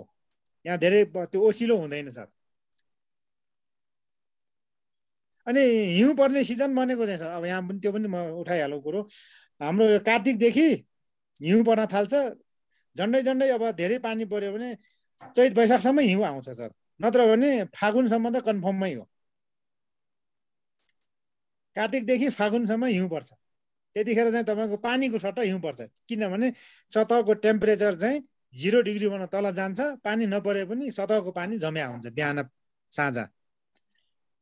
अनि बर्खा भनेको चाहिँ तपाईँको साउन असारको मध्य असारदेखि साउन पुरै मध्यको चाहिँ यो भदौतिर चाहिँ हाम्रो टुङ्गिन्छ सर यहाँ वर्षा चाहिँ। बढी वर्षा हुने भनेको त्यतिखेर हो सर। अरू ठाउँ सुक्खै हो। हजुर। धन्यवाद धन्यवाद सर। अब अब एउटा सानो अझ पनि मलाई सोध्न मन लागिरहेको छ त्यो के भने भेडा त धेरै हुँदो रहेछन् त्यहाँ। भेडाको मल कतिको जम्मा पार्छन् कि छरिएर त्यत्तिकै बगेर अथवा कहीँ खेर गएर जान्छ अनि भेडादेखि बाहेक अरू पनि पशु पक्षीहरू पशु पन्छीको त नभनौँ। पशुहरू खास गरी अब कुन्नी अब याक हुन्छ कि हुँदैन त्यहाँ मलाई पनि थाहा छैन है। त्यति भएन। अनि अरू पनि पशुहरू के हुन्छ मल खादको बारेमा केही गर्न सकिने अवस्था केही कुनै प्रयास भएको त्यहाँ कसैले मलखात जोगाउनुपर्छ। माटोबाट बगेर जानु दिनु हुँदैन अलिक पाल पारेर खनेर एक एक भनौँ न दुई दुई डेढ डेढ हात जति गहिरो खाडल जस्तो खनेर त्यहाँभित्र मल हालेर अनि बिरुवा लगाउनुपर्छ भन्ने किसिमको सोचहरू कतिको बनिरहेको छ। एनजिओहरूले त्यस्तो किसिमको कामहरू गरेका छन् कि छैनन् कुन्नी। होइन त्यो मल चाहिँ त्यहाँ बाहिर फ्यालियो भने वास्तवमा त्यो दुरुपयोग नै हुने रहेछ बगेर जाने रहेछ जस्तो लाग्यो मलाई कता कता। सबै कुरा चाहिँ सुनेर मेरो आफ्नो बुद्धि विवेकले आकलन गर्दाखेरि त्यसो हुनाले मललाई जोगाउनको लागि त्यहाँका मानिसहरूले र त्यहाँका चाहिँ एनजिओ आइएनजिओ जे जति छन् त्यहाँ संस्थाहरू अथवा लोकल सरकार पनि के प्रयासहरू भएका छन् जस्तो यहाँले ठम्याउनुहुन्छ त्यो एउटा जवाब दिनुभयो भने म धेरै खुसी हुने थिएँ। हस् धन्यवाद। हस् सरलाई पनि धन्यवाद। यो भेडाको हिसाबले चाहिँ पहिला चाहिँ भेडा पालनको लागि यो प्रख्यात ठाउँ हो। अहिलेको अवस्थामा भेडा धेरै कम छ। यसको दक्षिणी भेगतिर चाहिँ जुन औलोतिर उष्ण प्रदेशतिर चाहिँ अलिअलि गर्छन्। अनि हाम्रो पनि यहाँ अब जातिपातीको हिसाबले चाहिँ दक्षिणतिर चाहिँ हाम्रो यो खस जाति खसान होइन? छेत्री बाहुन दलित भ्यासी अनि माथितिर जाडो ठाउँमा चाहिँ जाड भन्छन् भोटेहरू हामी लामाहरू चाहिँ माथि माथिल्लो भेगमा बस्छौँ। अब करिब करिब लामा बस्तीबाट चाहिँ भेडा पालन मुक्त भइसक्यो। है सर? त्यहाँ छैनन् भेडा पालन छैनन्। मैले भने त्यो भेडा पाल्नको लागि हिउँ त छ महिनाको लागि बेसी औलो लानुपर्ने होइन? बर्खाको लागि माथि पाटन लानुपर्ने। नत्र भने हिउँमा त यहाँ राखेर त सम्भव छैन। चिसो हिउँभित्र त तपाईँको उसलाई चरन के खुवाउने केही पनि देखिँदैन। हिउँ कि घाँस काटेर खुवाउन पनि सम्भव छैन वनमा चराउन पनि सकिँदैन। त्यसो भएको हुनाले चाहिँ औलो क्षेत्रमा चाहिँ त्यो अलिअलि छ। अहिले लामाको क्षेत्रमा चाहिँ करिब करिब अब उन्मूलन नै भइसक्यो। छैन भन्नु पर्यो। अनि मल खादको बारेमा चाहिँ कस्तो भने परम्परागत रूपमा गोठमा बाँध्ने गाई गोरुहरू त्यसमा सोत्तर स्याउला अनि तपाईँको यो घाँस अनि उता परालहरू हाल्ने त्यो कुहाउने त्यो चाहिँ अब प्रत्येक वर्षको चाहिँ हामी कार्तिकमा निकाल्ने हिउँदमा चाहिँ हाम्रो उहा जौँ गहुँहरू लगाउँदाखेरि त्यतिखेर छर्ने। वर्षमा एकपटक मात्रै त्यस मल चाहिँ हामीले छुट्याउँछौँ। अब पशुपालनको कमी आउने बित्तिकै मल पनि पर्याप्त छैन। अब यहाँ मल खाद बनाउने बिरुवा लगाउने हरेक किसिमको चाहिँ चेतनाको विकास नयाँ तरिकाले एनजिओ आइएनजिओले गरेको चाहिँ हो। त्यो व्यवहारमा चाहिँ रूपान्तरण हुन सकेको छैन। किनभने अब सबै अब हामीले एक किसिमले सरलाई म के भन्छु भने एउटाले गर्दाखेरि आत्मनिर्भरता नभएको व्यावसायिक बन्न नसकिएको सबै चिज आफैले गर्नुपर्ने जस्तै घर चलाउने मान्छेले दाउरा आफै बोक पानी आफै ल्याऊ गाई गोरु चराउन आफै जाऊ जस्तै गाई गोरुमा पनि त कसैले भेडा पाल्यो भने त्यो छुट्टै किसिमले पाल्नु पर्यो घोडा पाल्नेले छुट्टै पाल्नु पर्यो चौरी पाल्नेले छुट्टै हुनु पर्यो तिनीहरूको चाहिँ निड बेसिसमा चाहिँ जानु पर्यो। अब लेख आफै जाऊ औल आफै जाऊ अनि तपाईँको व्यापार आफै गर खेती किसान आफै गर अब तपाईँको सबै किसिमको चाहिँ कुराहरू कमाउनेदेखि खाने सबै कुरा मिलाउनलाई चारैतर्फबाट चाहिँ जो एउटाले नदान्ने भयभर काम गर्नुपर्ने त्यसले नपुग्ने। अनि हामी केही केही कुराहरू प्याकेजमा लिएर जान्छौँ त्यही मात्रै गरेर पनि उसलाई सम्भव नहुने। त्यो हुँदाखेरि कस्तो भने अब नभएको केही पनि छैन। भएर देखिने गरी पनि केही पनि छैन। त्यस्तो किसिमले चाहिँ चलिरहेको अवस्था। अब जस्तै अब हामी अहिले उत्पादन टन्नै गरौँले एक हिसाबले मैले भने सर यो भोलि गाडी चल्यो भने त कम होला नत्र भने स्याउ फल्ने सिजनमा यही फलाफल कसैले किन्दैन त अनि के गर्ने? आफू कति खानु? होइन दिएर पनि लिने मान्छे छैन ठाउँमा पुर्याउनलाई। अब अघि पछि त अब तपाईँको डबल टिपर हामी दिन्छौँ भने पनि पाउँदैन। अब यस्तो किसिमको म्यानेजमेन्ट पहिला चाहिँ त्यो च्यालेन्जलाई चाहिँ कसरी त्यहाँबाट खोल्न सकिन्छ? त्यो गेट खोल्यो भने अनि यताबाट चाहिँ तपाईँको तयारी वस्तुमा पनि मान्छेहरू लामबद्ध लाग्ने खालको चाहिँ मैले देखेँ। अब हामी चाहिँ प्रशस्त मात्रामा चाहिँ अब उत्पादन गऱ्यौँ भने अहिले उत्पादन त छैन तर गऱ्यौँ भनेपछि त्यो उत्पादन फेरि त्यो सीमित समयभित्र कुहाउनु बाहेक त छैन ऊ कति खाएर सघाउनु? त्यस्तो किसिमको पनि छ सर। एक त अब उत्पादन हुन नै गाह्रो छ सिँचाइको अवस्था अनि मलको कुरा अनि तपाईँको परिश्रम र मेहनत अनुसारको चाहिँ त्यहाँनिर दिने उत्पादनको प्रतिफल त्यसले गर्दाखेरि हामी जहिले पनि परनिर्भरता बनाएको छौँ कि सर? अरूमा भर पर्नै पर्ने। अब खाद्य संस्थानको चामल नआएपछि यहाँ हाहाकार भइहाल्छ हेर्नुहोस्। पहिला चाहिँ अब भेडा पालनले ल्याउँथ्यो भेडाले ल्याउँथ्यो भने अब भेडाको सट्टामा त अहिले जहाजले ल्याउनु लाग्यो त्यो चाहिँ सबै किसिमको चाहिँ चाहिने नै भएको। एउटा कट अफ गऱ्यो भने अर्कोले धान्न नसकिने अवस्था छ सर। मैले त्यसो लागेँ। मैले अनुभव चाहिँ सर। हजुर धन्यवाद सर लामा सरलाई धेरै धन्यवाद। अब सरहरूको अरू म्याडमहरू सरहरूको पक्का पनि केही होला सुन्न पाए हुन्थ्यो। मेरो त सकियो स्टक सोध्नुपर्ने कुराको। नमस्कार। कञ्जोक सरको यो प्रस्तुति एकदम रोचक लाग्यो। र म यो तातो पानी विशेष गरी यो म्याग्दीको तातो पानीमा धेरै पटक गएर बस्ने गरेको छु। त्यस आधारमा चाहिँ हजुर सर। म्याग्दीमा दुई थरी तातो पानी छ कि एउटा मुस्ताङतिरबाट आउँदाखेरि बिचमा छ भुरुङ तातो पानी एउटा सिङ्गा तातो पानी छ। यो भुरुङ तातो पानी कस्तो छ भनेदेखि यो मुस्ताङबाट हिँडेर आएको मान्छेहरूले विश्राम गर्ने ठाउँको रूपमा छ कि। हजुर हजुर। त्यसो भएको हुनाले उनीहरूले चाहिँ त्यो भुरुङ तातो पानीमा गएर चाहिँ तातो पानीमा बसेर आनन्द जाडो पनि भएको हुन्छ थाकेका पनि हुन्छन्। त्यहाँ आएर विश्राम गरेपछि उनीहरूलाई आनन्द आउँछ त्यसपछि त्यहाँबाट नुहाइधुवाई गरेर उनीहरू फर्किन्छन्। आफ्नो बाटो लाग्छन्। मैले भन्नु खोजेको के छ भने सर यो प्राकृतिक स्रोतको व्यवस्थापनको कुरा आयो। प्राकृतिक स्रोतको व्यवस्थापन समुदायले गर्ने कि गाउँपालिकाले गर्छ कि कसरी गर्ने हो होइन एउटा पार्ट छ। अनि दिगो व्यवस्थापन हुनुपर्ने र पर्यटकको सन्दर्भमा गेस्ट होस्ट रिलेसनसिपको कुरा छ होइन? समुदाय र पाहुनाहरूको बिचको चाहिँ रिलेसनसिपको कुरा छ होइन? स्थानीय संस्कृति लाई चाहिँ जीवन्त राख्न सकियो भने अनि पाहुनाहरू चाहिँ आउने जाने क्रम रहन्छ। अर्को कुरा त्यो जुन तातो पानी भएको ठाउँ कतिको प्राकृतिक विपत्तिको हिसाबले बाढी पहिरो यस्तो कुराहरूको हिसाबले कतिको असुरक्षित ठाउँ छ किनभने त्यहाँ अब संरचनाहरू निर्माण गर्दाखेरि त्यो प्राकृतिक प्रकोपको खतरा छ भनेदेखि संरचना बनायो बाढी पहिरोले त्यसलाई नोक्सान बनाइदिन्छ होइन? त्यो कुराहरू पनि हामीले ध्यान दिनुपर्ने हुन्छ। व्यवस्थापनको हिसाबले कुनै एउटा समुदायले व्यवस्थापन गर्ने हो या गाउँपालिकाले व्यवस्थापन गर्ने हो त्यो कुरा भयो। र यसको दिगोपनाको लागि चाहिँ त विस्तृत अध्ययन गर्नु पर्ला भन्ने मलाई लाग्छ। हजुर सर हजुर मैले यति नै भने सर कुनै जिज्ञासा कुनै दृष्टिकोण यही नै हो.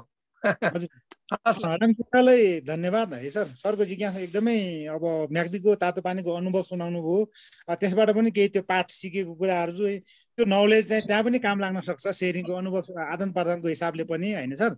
पक्कै पनि त्यो तातो पानी चाहिँ उपयोगी छ। प्राकृतिक रूपमा व्यवस्थापन गर्नुपर्ने आवश्यक पनि देखिन्छ। अब त्यसमा चाहिँ अब कसले कसरी गर्ने भन्ने कुरामा चाहिँ अब समुदाय त मेन त्यहाँको आधार समुदाय नै हो। र उसलाई चाहिँ अब सहयोग नगरिकन उसले चाहिँ एउटा नयाँ दृष्टिकोण नयाँ किसिमको चाहिँ तौर तरिका त्यसबाट हुने बेनिफिट लाभ र त्यसलाई चाहिँ धिटो रूपमा चाहिँ कसरी त्यसलाई व्यवस्थापन र उसलाई फाइदा पुग्छ समाजलाई क्लियर नपार्नसम्म चाहिँ उनीहरू चाहिँ अन्यलमा हुन्छन्। सहकार्यको आवश्यकता पक्कै नै पर्छ सर होइन? अब त्यसको चाहिँ हजुरले यो प्राकृतिक विपत्ति को हिसाबले चाहिँ त्यो कतिको सुरक्षित असुरक्षितको कुरा गर्नुभएको छ। अब यसमा चाहिँ अब संरचनाको हिसाबले चाहिँ त्यहाँ असुरक्षित नै मानिन्छ।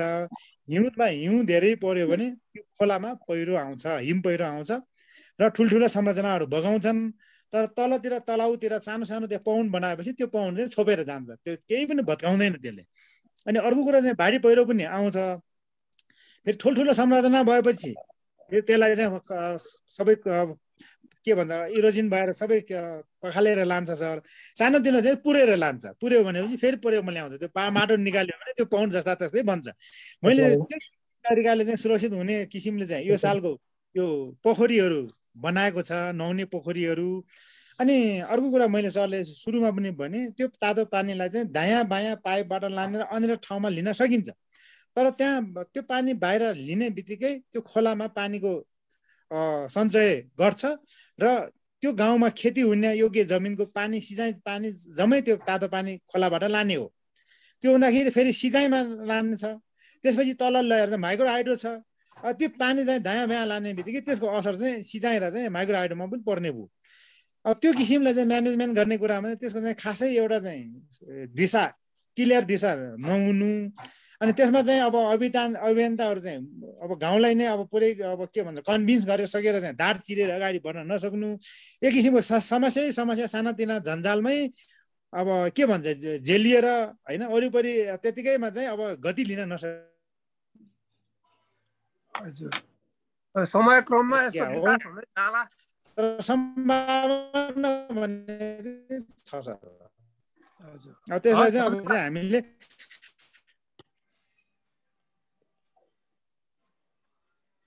बढी फाइदा आउँछ भने के अरे सिँचाइ त्यसबाट सिँचाइभन्दा तातो पानीबाट बढी फाइदा आउँछ भने त्यसलाई चाहिँ हामी त्यसरी चाहिँ रूपान्तरण त्यसलाई बदल्न सकिन्छ कि भन्ने चाहिँ मलाई त्यो चाहिँ विश्वास चाहिँ छ पक्का हो त्यो चाहिँ नत्र भने असर प्रति असर असर प्रति असरको बिचमा चाहिँ रोमलिएको अवस्था हो सर ल धन्यवाद रामकृष्ण सरलाई अब कृष्णबहादुर आइर सरलाई सर धन्यवाद हिम्मत सर। सबैलाई नमस्कार मेरो। खन्जोक लामा सरले एकदमै चाहिने राम्रो प्रस्तुति गर्नुभयो।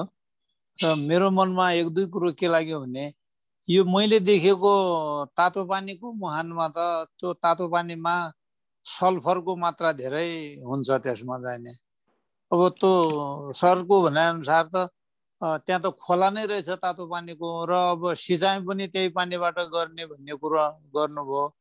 यो त्यो सल्फरले के असर गर्छ त त्यो चाहिने खेतीपातीलाई? त्यसले फाइदा पुर्याउने हुन्छ अथवा नोक्सान गर्ने? के रहेछ यो कुरो मेरो मनमा लागेको? अर्को कुरो अब लेक र औलको कुरो बेसीको कुरो नि सरले गर्नुभयो। त्यहाँ औलतिर परालको कुरो नि आयो। त्यहाँ पराल पनि धान पनि फल्दो रहेछ। त्यसको मतलब त। अनि माथि जुन लेकतिर सरले यो रैथाने बालीनालीको कुरो गर्नुभयो त्यसमा चाहिने यो कर्णाली भेगतिर सिमीहरू पाउँछ एउटा त्यो रातो सिमी। त्यतातिर त्यो सिमी फल्छ कि फल्दैन? र अनि यो जङ्गली जडीबुडीहरूको के छ सर त्यतातिर? त्यो जङ्गली जडीबुडीहरूको केही कुरो सुन्नमा आएन। अर्को कुरो अब जङ्गली जनावरहरू त धेरै चिसो भएको कारणले त्यहाँ हुन्छन् कि हुँदैनन् यो अब। अनि अर्को कुरो यो लिमिका बासिन्दाहरू मैले म चाहिँ सैतिस अडतिस सालमा दार्चुला हुँदाखेरि त्यो चाहिँ एउटा काठको गानो जस्तोमा त्यसलाई चाहिँ कोरेर बटुका जस्ता बनाएर थुप्रो त्यो त्यसलाई चाहिँ फेरि भित्र एक किसिमको पेन्ट लगाएर त्यो इन्डियातिर बेच्न लैजानुहुन्थ्यो उहाँहरूले चाहिँ। भारीका भारी। अनि यो कहाँबाट ल्याउँछन् के गर्छन् भनेर कुरो गर्दा लिमिका मान्छेले रुखको हाँगाबाट यो यसरी बनाएर बेच्ने गर्छन् भन्ने मैले देखेको पनि हो सुनेको पनि त्यो कुरो। अहिले त्यो पेसा के होला तिनीहरूले? अब त्यो जङ्गल त त्यसरी त्यही पेसा हो भने त नाश पनि भएको हुनु हुनसक्छ। अनि यी यिनै कुराहरू मैले राखेँ सर। हस्। धन्यवाद। नमस्कार धन्यवाद। जिज्ञासा धेरै कुराहरू सोध्नु भएको छ सरले एक नम्बरमा तातो पानीमा भएको सल्फर। सल्फर चाहिँ छ भन्ने कुरा पनि मलाई चाहिँ लाग्छ सर किनभने सल्फरको चाहिँ गन्ध आउँछ। होइन हामी गन्धक भन्छौँ। गन्धक हो त्यही हो। त्यो उम्लिने ठाउँ जहाँ जहाँ बाफ आउँछ त्यो ढुङ्गामा चाहिँ गन्धकहरू टाँसेको हुन्छ। र त्यो भरुवा बन्दुकमा चाहिँ जुन बनाउँछ नि सर त्यसको के भन्छ त्यो भित्र हाल्ने त्यो जलाउने बारुद बारुद। बारुद भन्छ त्यसलाई। बारुद बनाउनलाई त्यो पनि लिएको मलाई थाहा छ। तर पर्याप्त गन्धक पक्कै हुँदो रहेछ। गन्धकको गन्ध पनि आउँछ। तर त्यसबाट सिँचाइ वर्षौँदेखि भइराखेको छ। त त्यसको असर त्यहाँ लाभ गर्यो भन्ने कुरा परीक्षण भएको छैन। है सर? अब त्यसको बारेमा जानकारी छैन भन्नु पऱ्यो। अब त्यसले लाभै गरेको मात्रमा हामी बुझ्छौँ। अनि सर दोस्रो कुरो गर्नुभयो अब यहाँ लेकौल यहाँ परालको कुरो अब त्यो चाहिँ हुन्छ। ले औलतिर चाहिँ हुन्छ सर धान। अर्को मैले भन्न खोजेको मेरो ठाउँको पराल चाहिँ हामी परालै भन्छौँ यता लोकल भाषामा। उवा गहुँहरूको पनि त्यो हुन्छ नि सर त्यो। त्यसलाई पराल त्यसलाई पराल हुने त्यसलाई पनि हामी गहुँको पराल। अनि उवाको पराल जौको पराल भन्छौँ। अब पराल चाहिँ परालै रहेछ अब सरले चाहिँ धानको पराल भनेर बुझ्नुभयो। हाम्रो ठाउँमा धान हुँदैन हजुर हजुर हो। मैले धानको पराल भनेको त्यो चाहिँ मैले सरलाई त्यसरी क्लियर पारेँ होइन। अनि जङ्गली जनावरमा खासै जनावरहरू जङ्गली जनावर पाउँदैन सर। यता कता चाहिँ यो हाम्रो अलिकति वन्य जन्तु क्षेत्रमा काम गर्ने इसिमोडहरूले पहिलादेखि त्यहाँ हिमालतिर एकान्त ठाउँमा चाहिँ क्यामेरा छोडेर यिनीहरूले त्यो खिच्दा रहेछन्। एकपल्ट चाहिँ यो जङ्गली याक है सर जङ्गली याक भेट्यो। आएको छ। जानकारीमा म स्वयंले देखेका छैन। धेरै मान्छेले देखेका छन् भेटेका छन्। त्यो फोटो त पढ्न चाहिँ पाइयो। म आफू स्वयं देखेको छैन। अनि यहाँ चाहिँ वन्यजन्तु कमै हुन्छ। किनभने यो हिमाली क्षेत्र हो। हिम चितुवा अथवा हिमालमा बस्ने जनावर बाहेक अरू खासै हुँदैन। बाघ भालुहरू भए पनि थोरै मात्रामा हुन्छ सर। त्यति धेरै जनावरहरू हुँदैन। अर्को आयो सर यो लिमीको मान्छेहरूले यो कचौराहरू काठको बनाउँछ। त्यो अहिलेसम्म चाहिँ त्यो पेसा विद्यमान छ। चलेको छ? हजुर हजुर क्षति चाहिँ खास राम्रो गर्यो भने जङ्गलको क्षति खासै हामी गाँठ भन्छौँ। त्यो गाँठ भनेको स्पेसली रूपमा चाहिँ हामी त्यसलाई त्यसलाई नेपालीमा चाहिँ तिलाइलो। जुन क्यानाडाले चाहिँ त्यो राखेको छ नि पात पाँच हजुर मेपल ट्री भन्छ त्यसलाई मेपल ट्री।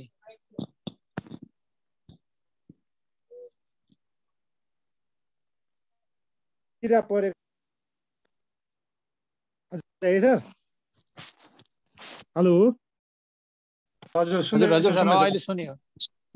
त्यही त्यो पाँच त्यो के भन्छ तिलाइलो रुखको हुन्छ त्यो विशेष गरेर गाँठा गुठी हुन्छ तल खेतमा चाहिँ गाँठहरू हुन्छ सर। त्यो गाँठ काटेर त्यो बनाउने हो कचौरा बनाउने हो। त्यो गाँठले चाहिँ तपाईँको एउटा चाहिँ त्यसले के दिन्छ भनेपछि पुरै भुट्टा दिन्छ आकर्षक भुट्टा हुन्छ। अर्को त्यो चर्किने छुट्दैन त्यो।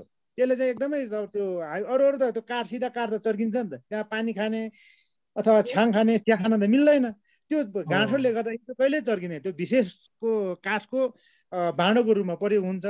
त्यो बिक्री हुने हो चाहिँ सर इन्डियामा होइन। इन्डियाबाट ल्याएर भयो भने चाइनै बिक्री गर्छ सर। बिक्री हुने चाइनातिर हिमाली क्षेत्रमा यो हुन्छ त्यो तिलाइलो रुख चाहिँ। अब हिमा नेपालमा करिब करिब सिधाइसके। तिनीहरू एकपछि अर्को पलाउनलाई कम्तीमा दस वर्ष लाग्दो रहेछ।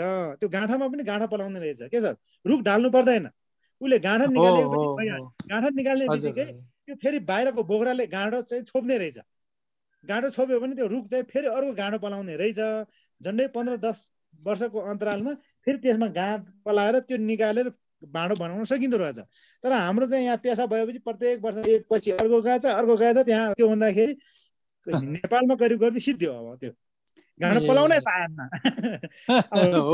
विनाश गर्यो आफ्नो ठाउँमा छ। नत्र त्यो विनाश गर्नु जरुरी छैन। गाँठा निकाले भइहाल्यो। गाँठा नभएको रुखको कामै छैन। त्यो सिधा सारा त जुनसुकै रुख पनि हुन्छ सर है।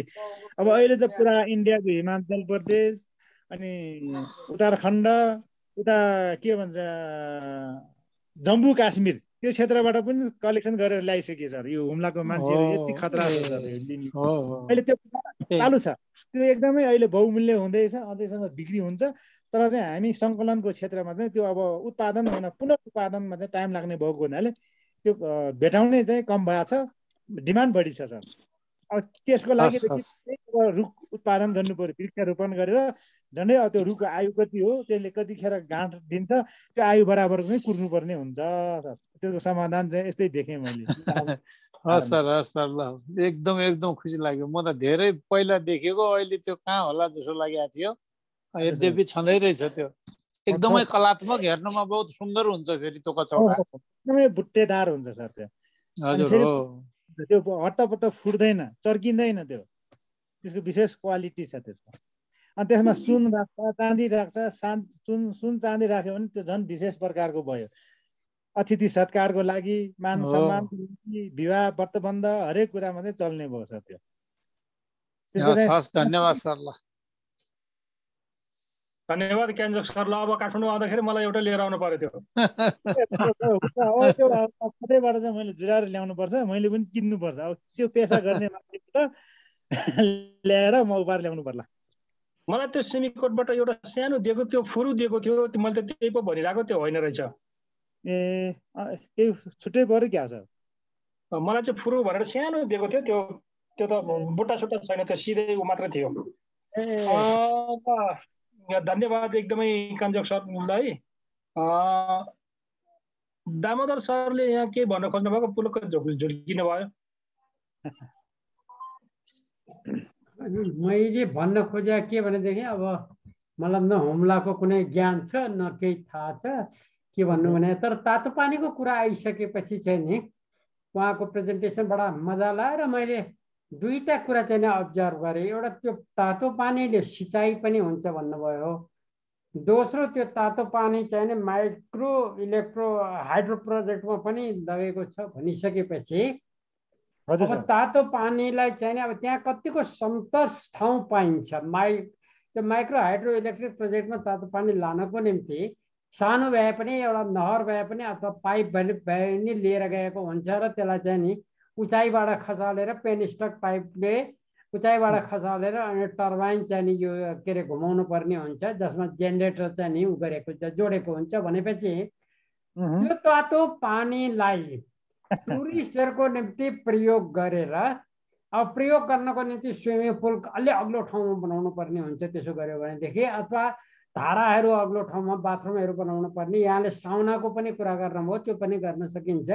अग्लो ठाउँमा बनाइसकेपछि त्यो युज भएको पानीलाई चाहिँ नि फर्दर युज सिँचाइको निम्ति पनि प्रयोगमा ल्याउन सकिन्छ।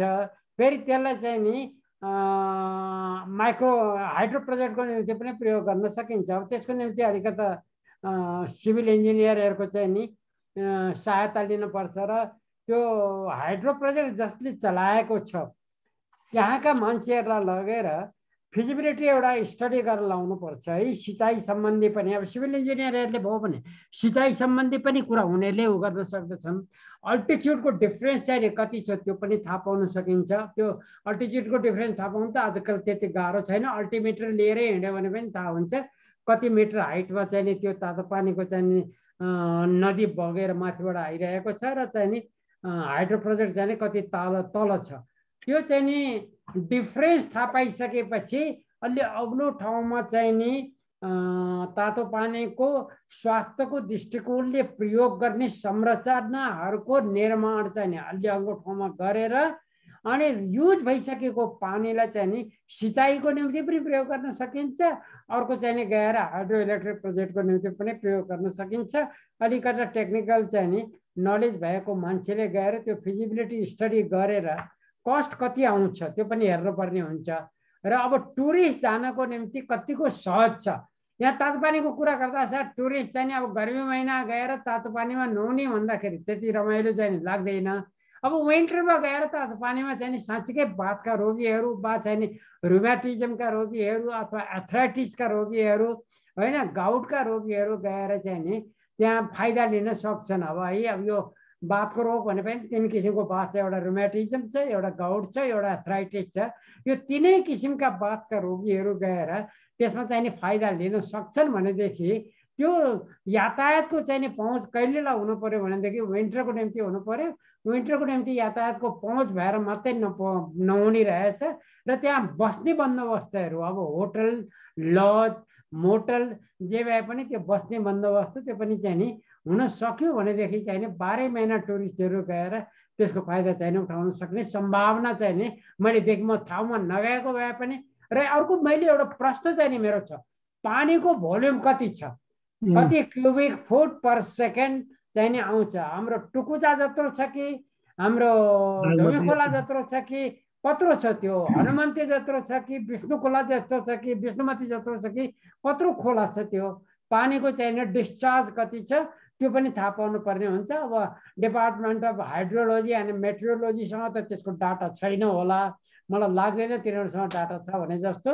तर अब कसैले न कसैले त्यसको अध्ययन चाहिँ गरेर भन्नु पर्यो नदीको डिस्चार्ज कति छ भनेर त्यो खोलाको डिस्चार्ज टाइम टाइममा सिजन सिजनमा सिजनमा अब त्यो त भेरिए भेरियस चाहिँ सिजनमा भेरियस डिस्चार्ज हुन्छ। उहाँले भनिसक्नुभयो असार साउनमा पर्नुपर्ने चाहिँ नि छ सय मिलिलिटरदेखि लिएर आठ सय मिलिलिटर भनेपछि करिब करिब चौबिस इन्चीदेखि लिएर बत्तिस इन्ची पानी परिरहेछ त्यहाँ होइन?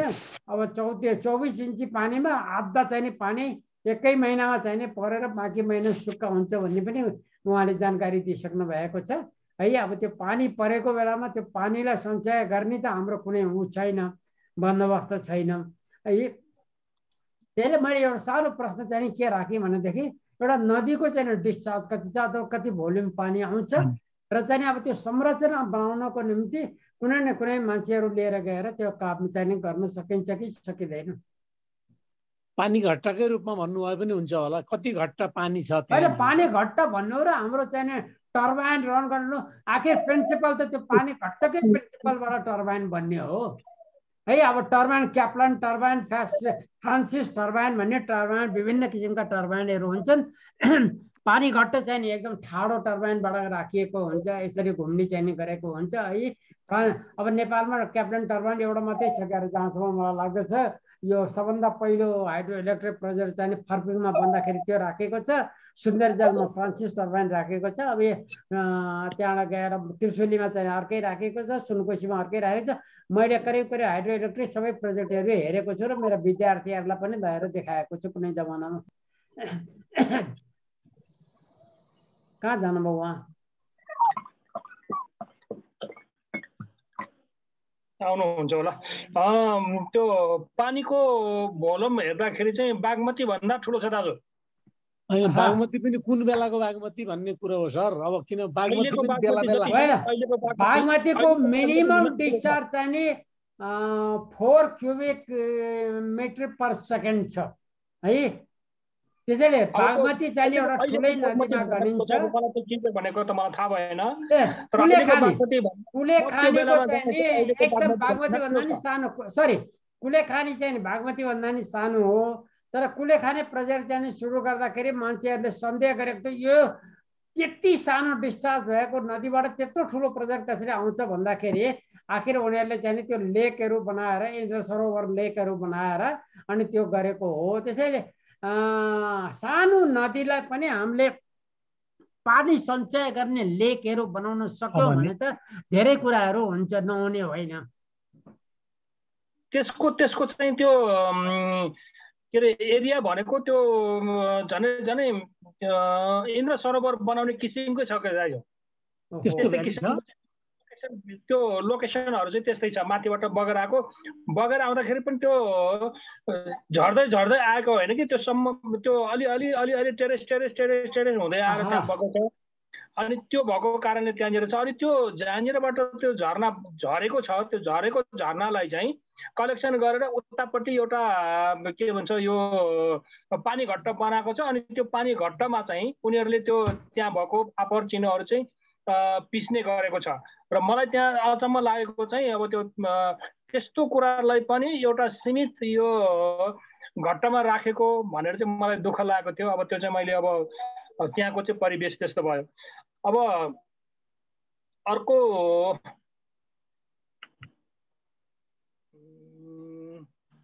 होइन अब लोकल टेक्नोलोजी त युज भइसकेको रहेछ। तपाईँहरूलाई याद छ कि छैन? अहिले पेप्सी कोला भएको जुन ठाउँ छ मनरामा माथिबाट बाँध बाँधेर दुईवटा चाहिँ कुलोहरू ल्याइएको थियो र त्यहाँ दुईवटा चाहिँ घट्टाहरू थियो।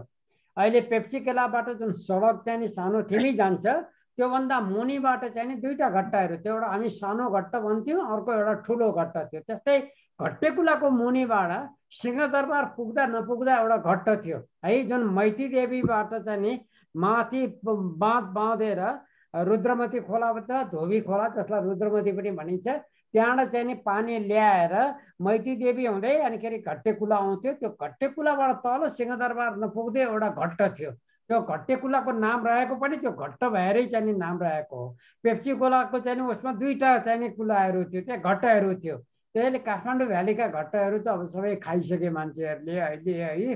र अब त्यो लोकल टेक्नोलोजीबाट अब हिमाचलले जुन भन्नुभयो त्यो चाहिँ नि एकदम भिरालोबाट चाहिँ नदी झरेको छैन भनेपछि करिब करिब त्यसको चाहिँ नि टेरेस चाहिँ नि बिस्तारै बिस्तारै बिस्तारै तल भएर आएको छ भनेपछि करिब करिब हाम्रो भनौँ न बुढा निलकण्ठबाट धोबी खोला जुन किसिमले बगेर आएको छ शिवपुरी हुँदै बुढा निलकण्ठमा शिवपुरीमा त माथि एउटा झरना छ धुलो धोबीको उसको धोबी खोलाको। अब यहाँहरूले कतिको अब्जर्भ गर्न खोलाको माथि माथि छ। एउटा सानो झरना छ।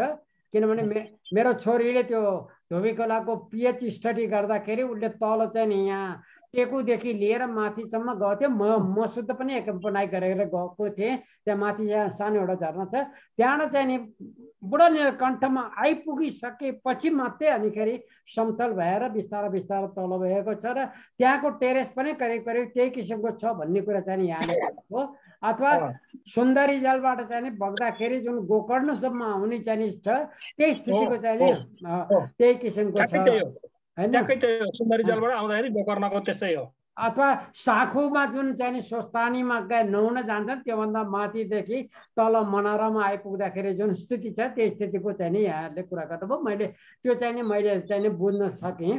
त्यो भनेपछि खोला चाहिँ नि बागमती भन्दा पनि ठुलो छ भनेपछि ठुलै खोला हो। र त्यो पानी सञ्चय गरेर हाइड्रो इलेक्ट्रिक प्रोजेक्ट पनि सञ्चालन गर्न सकिन्छ। तातो पानीलाई चाहिँ नि नुहाउने पर्पजको निम्ति मेडिकल उसको निम्ति पनि प्रयोग गर्न सकिन्छ र त्यो पानी युज गरिसकेपछि सिँचाइको निम्ति पनि प्रयोग गर्न सकिन्छ। ती सबै सम्भावनाहरू चाहिँ नि त्यहाँ देखिन्छ क्लियरली देखिन्छ। अब त्यसलाई चाहिँ नि एउटा मास्टर प्लानै बनाएर त्यसलाई चाहिँ नि लागू गर्नुपर्ने हुन्छ। त्यो चाहिँ नि अब रिजनल सरकारले है अब क्षेत्र त्यहाँको क्षेत्रीय सरकार त्यहाँको लोकल सरकारको चाहिँ नि सहयोग नपाइकन त्यो काम चाहिँ नि हुन सक्दैन है। अब त्यो प्राइभेटले पनि अहिले इन्भेस्ट गर्दैन। किन गर्दैन भनेदेखि प्राइभेटले मुनाफा नै उ गर्ने हो इन्भेस्ट गरेर मुनाफा आउँदैन पाँच दस वर्षमा डबल हुँदैन भने कोही पनि इन्भेस्ट गर्न जाँदैन नेपाल जस्तो ठाउँमा यहाँ दिनको दुना रातको चौर चार गुना गर्ने ठाउँमा चाहिँ कसले गएर चाहिँ इन्भेस्ट गरिरहन्छ त्यो गर्दैन त्यसैले त्यसलाई चाहिँ नि त्यो समुदाय त्यहाँको चाहिँ स्थानीय सरकार त्यहाँको क्षेत्रीय सरकार सबैले मिलेर त्यो ठाउँलाई उकास्ने भन्दा पनि त्यहाँको मानिसहरूलाई इम्प्लोइमेन्ट जेनेरेट गर्ने किसिमले त्यहाँको मान्छेहरूलाई ती राख्ने किसिमको चाहिँ नि वातावरण तयार गर्नको निम्ति मास्टर प्लान बनाएर अगाडि बढ्नुपर्ने आवश्यकता चाहिँ मैले देखेँ एकदम दामोदर सरले जुन राख्नुभएको यो विश्लेषणात्मक कुराहरू यसको निष्कर्ष चाहिँ मिल्दो जुल्दो छ यो तातो पानीबाट धेरै किसिमको फाइदा लिन सक्ने अवस्था छ र अहिले त्यो परिवेश अनुसार अवस्थामा चाहिँ उनले लाभ लिएको पनि छ झन्डै त्यो पानी भग्ने अवस्थाको के छ भन्ने हिसाबले सर हेर्ने हो भने झन्डै पैँतालिस डिग्रीको ओह्रालोमा चाहिँ झरेको है सर? अनि त्यो पानीबाट अहिले पनि गरेको छ घट्टा पनि दिएको छ हाइड्रो पन्ध्र वाटको माइक्रो हाइड्रो पनि निकालेको छ र तातो पानी अब परम्परागत रूपमा नुहाउने लुगा चुने सरसफाइको रूपमा पनि लिएको छ। अलिअलि चाहिँ अब मेडिसिनको रूपमा पनि उपचार पद्धतिमा पनि प्रयोग भएको छ। पुरै प्रोजेक्टमा लिनको लागि अब ठुलो किसिमको मेहनत र एक्सर्साइज चाहिन्छ जस्तो लाग्यो सर मलाई।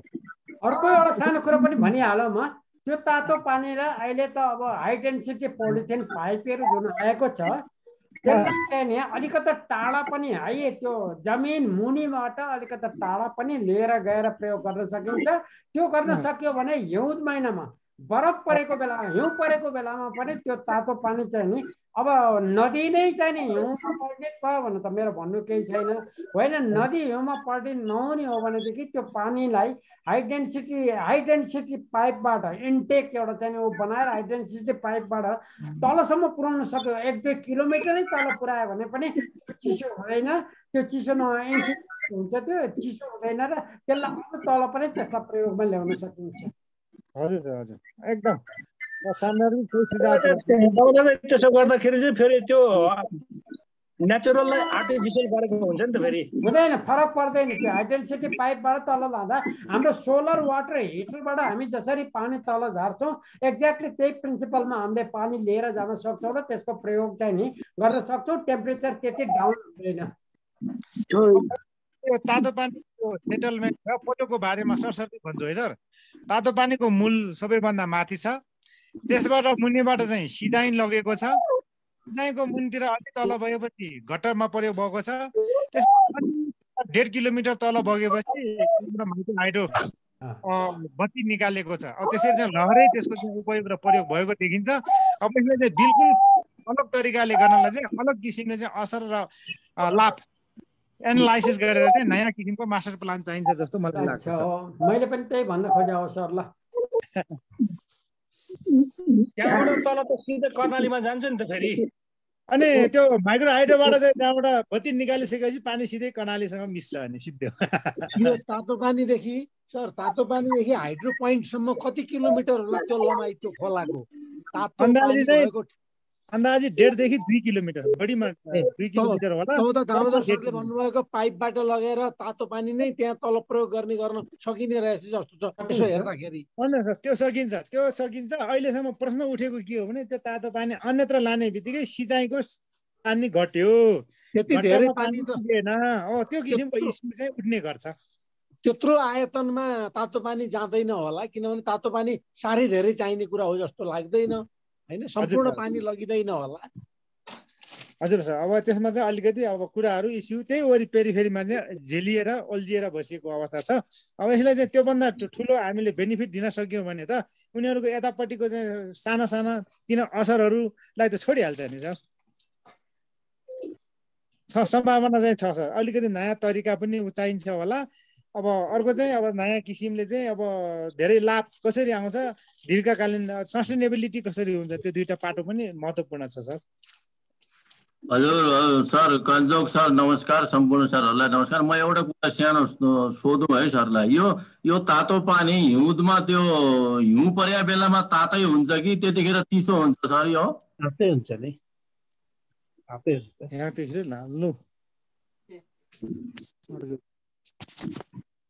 सुन्नु भएन क्या हो? तातै हुन्छ सर तातो तातो। त्यो तातो नेचुरल तातो भएकोले त्यो तातै हुन्छ सर हिउँ परे बेला पनि। त्यो कन्टिन्युसली तातो हुने जात हो। त्यहाँ त पुरै बाफु भर भरै बाफु उठिया छ सर त्यो ढुङ्गाको त्यो वरिपरि त्यो के तातोले चाहिँ त्यो के भन्छ सेपिएको छ अनि त्यहाँको त्यो वारिपारिको चाहिँ त्यो के अरे उम्रेको त्यो झारहरू पनि सबै त्यो तातो पानीले डढेको छ सर त्यस्तो। हो सर हो त्यही त। म त्यहाँ म्याग्दीमा देखाएको छु। हाम्रो दार्चुलामा पनि छ एक ठाउँमा एकै ठाउँमा छ त्यो महाकालीको किनारमा तातो पानी भन्ने ठाउँ छ त्यहाँनिर। त्यहाँ त्यो चामल भन्ने त्यो पाक्छ भात अब एउटा रमाइलो कुरा चाहिँ गरिहालौँ यही मौकामा। यो पानीलाई चाहिँ नि सिँचाइलाई पानी हुँदैन भन्ने कुरा आयो। है तल गइसकेको पानी चाहिँ नि माथि आउँदैन भन्ने। अब अहिले नयाँ एउटा टेक्नोलोजी आएको छ र मैले स्कटल्यान्डमा हेरेर पनि आएको छु।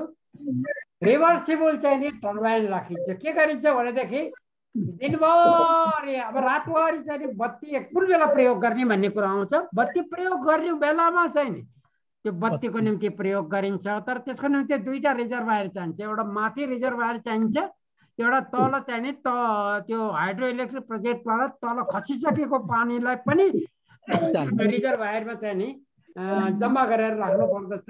र रिभर्सिबल टर्बाइन चाहिँ के हुन्छ भनेदेखि जुन बेला बत्ती चाहिन्छ त्यो बेला चाहिँ बत्तीको निम्ति प्रयोग गर्यो।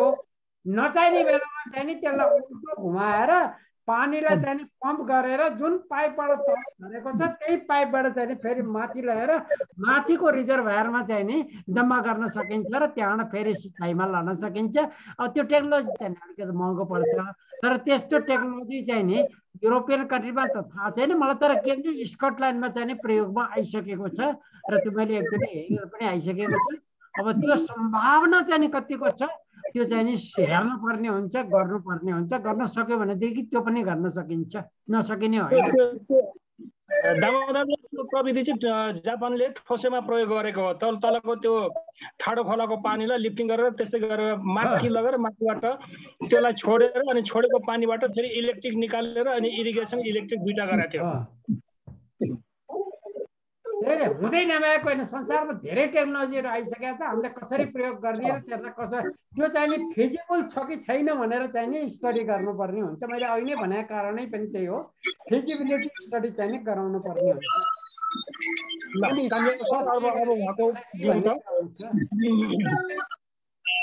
हेलो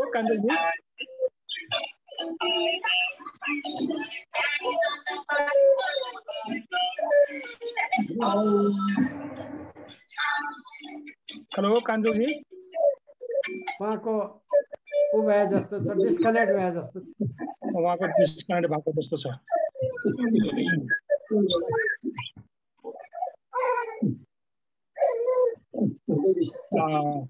अघि पनि भन्दा हुन्थ्यो उहाँको अलिक सुब्बाजीको एउटा प्रश्न हात उठेको थियो अब कान्छो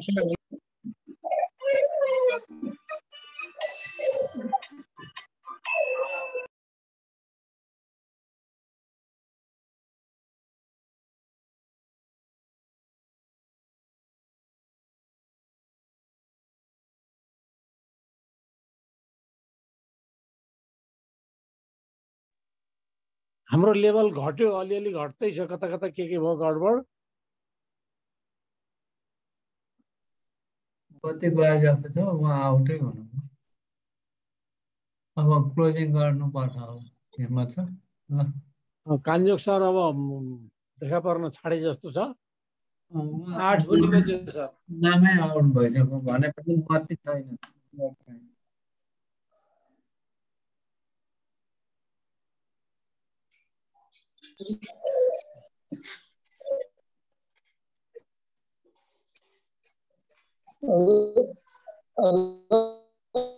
लामाजीको डिस्कनेक्ट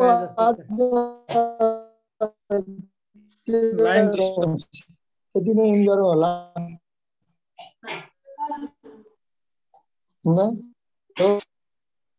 के डिस्कनेक्ट भयो डिस्कनेक्ट उहाँको चाहिँ लाइन गयो अरे लाइन गइसकेपछि साथीहरूसँग म माफी माग्दै मलाई त्यस्तो केही प्रश्न छ भने पछि फेरि गर्दै गरौँला अहिलेलाई सरी भनेको धन्यवाद। हाम्रो तर्फबाट धन्यवाद भनिदिनु पर्यो सर।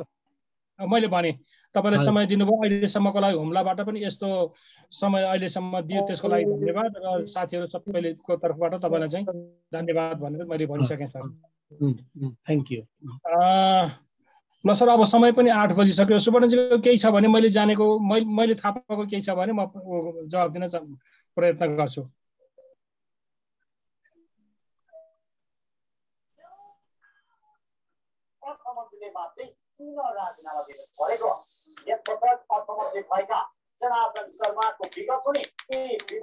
एउटा कुरो सोध्नु कसको कसको त्यो सर प्लिज कसको त्यो भइरहेछ? अनम्युट गरौँ त सर? म्युट गरौँ त?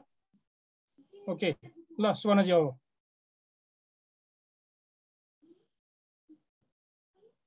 हेलो सुवर्णजी भन्नुहोस्।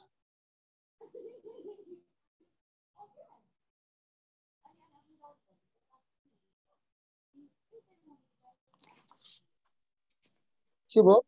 हेलो? सुन्दैछु सुन्दैछु भन्नुहोस्। त्यो एउटा चाहिँ नि अगाडि भन्नुभएको थियो नि त्यहाँको चाहिँ नि त्यो गुम्बाहरूमा चाहिँ नि हुने अलिक चमत्कारहरू चाहिँ के हो त? एक दुईवटा चमत्कारको केही एक्जाम्पल तपाईँलाई थाहा छ भने भन्नु न सुनाउनु नि।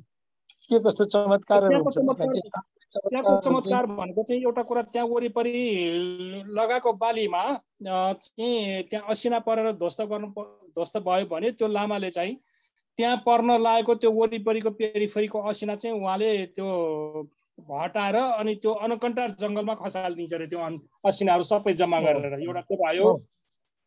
हो। अनि अर्को भनेको चाहिँ अब त्यहाँ धेरैजना मान्छेहरू जान्छ त्यो उपचारको लागि। अनि त्यहाँ चाहिँ त्यो के के उपचार भन्छ त्यो? त्यो हुम्ला जुममा गर्ने उपचार के उपचार भन्थ्यो मलाई त्यो कस्तो भित्रभित्र थेरापी थेरापी जस्तो होला। तान्त्रिक थेरापी। होला। तान्त्रिक थेरापी होला। तान्त्रिक अ, भन्दा पनि जडीबुटी चाहिँ जडीबुटी नै हो। अनि त्यसपछि चाहिँ उनीहरूले त्यो अ, त्यो आगोले पोलेर गर्छ त्यो चाहिँ। आगोले पोल्ने भनेको जस्तै तपाईँलाई पेट दुखेर गएको छ भने त्यहाँ औषधि। पनि दिन्छ। अ, डढाउने डढाउने त्यसलाई के के के उपचार भन्छ? कस्तो मैले जापानिज जापानिज पनि छ नि त्यो प्रविधि? सायद होला त्यो जापानिज प्रविधि पनि छ। त्यो पोलिदिने पोलेर चाहिँ त्यो ट्रिटमेन्ट गर्ने हो। अनि त्यसको लागि चाहिँ छुट्टै त्यसैको सम्बन्धीको डाक्टर छ त्यहाँ। त्यही त्यो उसले पनि त्यसैमा डक्टरै गरेर आएको छ। त्यो अनि त्यो त्यो डाक्टरहरूले उपचार गर्छ। के उपचार भन्छ? कस्तो नाम बिर्सेँ त्यसलाई? अनि उनीहरूले चाहिँ त्यो उपचार गर्दाखेरि जसरी हामीले त्यो के अरे अरूको चाहिँ यो उपचार गर्नको लागि त्यो इन्जेक्सनहरू लिएर गएको जस्तो जान्छौँ उनीहरूले चाहिँ त्यो विभिन्न किसिमको त्यो फलामको उपकरण हुन्छ। त्यो उपकरण लिएर जान्छ। अनि त्यो उपकरण लिएर गएर कुनको लागि के गर्नुपर्ने त्यो चाहिँ तताएर अनि पोलिदिन्छ पोल्ने हो। ज्वाइन्ट त पोलिदिन्छ अनि त्यसबाट उपचार गर्छ। त्यो त्यो सम्बन्धीको के भन्छ चाइनाबाट उपचार त्यो टिबेटिन प्रविधि हो त्यो। अनि त्यो टिबेटिन अघि उहाँले जापानिज भन्नुभयो मलाई त जापानिजको चाहिँ मलाई थाहा भएन तर टिबेटिन प्रविधि हो। अनि त्यो टिबेटिन प्रविधिमा चाहिँ त्यसरी पोलेर उपचार गर्छ त्यो एउटा चाहिँ मैले देखेको त्यहाँ हो। तर जडीबुटीको धनी भएको कारणले जडीबुटीबाटै उपचार हुन्छ धेरै चाहिँ त्यहाँ। ताम्ची ताम्ची ताम्ची प्रविधि भन्छ। ताम्ची। ताम्ची ताम्ची। अनि त्यसको लागि छुट्टै यो अहिले यो नर्सिङहरू हाम्रो दिएको जस्तै त्यो नर्सहरूलाई ताम्ची विधिबाट उपचार गराउन त्यहीँ सिकाउँछ अनि उनीहरूलाई चाहिँ पठाउँछ। त्यो छ। ल आठ बजीबाट चाहिँ आजलाई ल यति इन गरौँ होला इमा सरलाई। ल अब अब आजलाई यति नै यिनी गरौँ। धेरै समय पनि गइसक्यो हाम्रो आठ बजिसक्यो। आठ पाँच पनि भयो। हाम्रो अब अब आइतबारको लागि कोही कोही हुन सक्छ कि अरू? यहाँ कोही तयार भएको छैन। यहाँहरूले पनि कसैले गर्नुहुन्छ कि कोही साथीहरू हुन्छ कि भन्ने एउटा सूचना गरेँ मैले। कसैलाई गर्नु केही तयारी छ भने त्यो गरौँ। दाई तमाम दाईको केही तयारी छ दाई?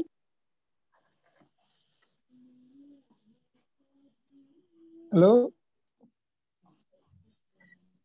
मैले अस्ति चाहिँ त्यो टिआईमा र पूर्व कर्मचारी सेवा परिषदमा पेश गरेको थियो एउटा होइन?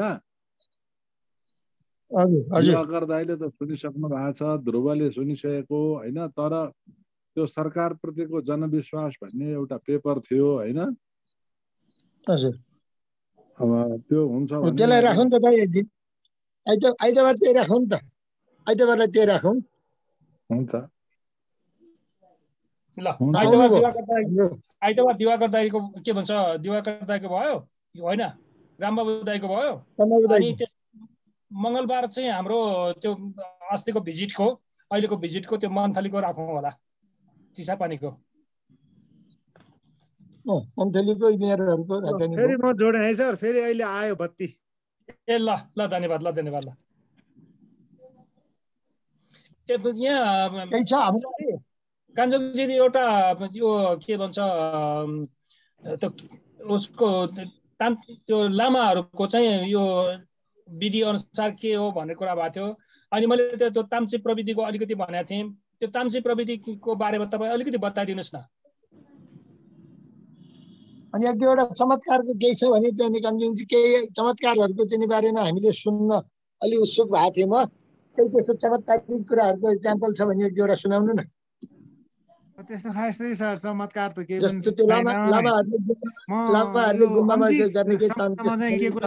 आयुर्वेद र अम्ची उस्तै उस्तै हो सर। अनि अम्जीमा चाहिँ अलिकति विशेषताहरू के हो भने सर? तपाईँको यो बिरामीहरूको उपचार चाहिँ कुनै आगोले चाहिँ सेकेर चाहिँ पोल्ने अगुपञ्चर विधि पनि भन्छ कतिपय ठाउँमा। आगोले जहाँ जहाँ दुख्छ भातो हाल्नु भन्छ हामीले।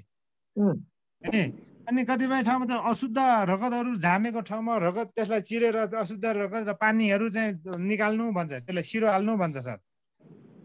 ए त्यो किसिमको चाहिँ अलिकति विशेषताहरू चाहिँ देखेँ अनि पुरै नसा हातको नाडी छामेर रोग समस्याहरू पत्ता लगाउने अनि औषधिहरू चाहिँ प्रायः जसो जडीबुटी खुद जडीबुटीबाट नै बनाएर चाहिँ दिने। त्यो अभ्यास चाहिँ मैले अब एलोप्याथिक भन्दा चाहिँ भिन्दै किसिमको पाएँ। नत्र भने अरू सबै उस्तै उस्तै हुन्छ सर। त्यसमा अलिकति फरक भनेको त्यति हो सर। त्यो आमजी डाक्टर पनि थियो एउटा के नाम मैले छैन? हजुर सर। एलोप्याथी डाक्टर हाम्रो एलोप्याथी डाक्टर मेडिसिनहरू पुगेको छैन छैन त त्यहाँ त्यो त छ त्यो त अहिले सबै ठाउँमा प्रत्येक वाडा वाडामा चाहिँ आधारभूत स्वास्थ्य इकाइहरू खोलेको छ आधारभूत स्वास्थ्य चौकी छ आधारभूत पालिका स्तरमा आधारभूत अस्पताल खोल्या छ। तर संरचनाहरू छ के अरे? सेवा चाहिँ अब खासै छैन। सेवामा चाहिँ अब भरपर्दो छैन। कहिले जनशक्ति छैन कहिले औषधि छैन कहिले उपकरण छैन कहिले बत्ती छैन पूर्वाधार छैन त्यसैले चाहिँ लटर पटर चलाइरहेछ।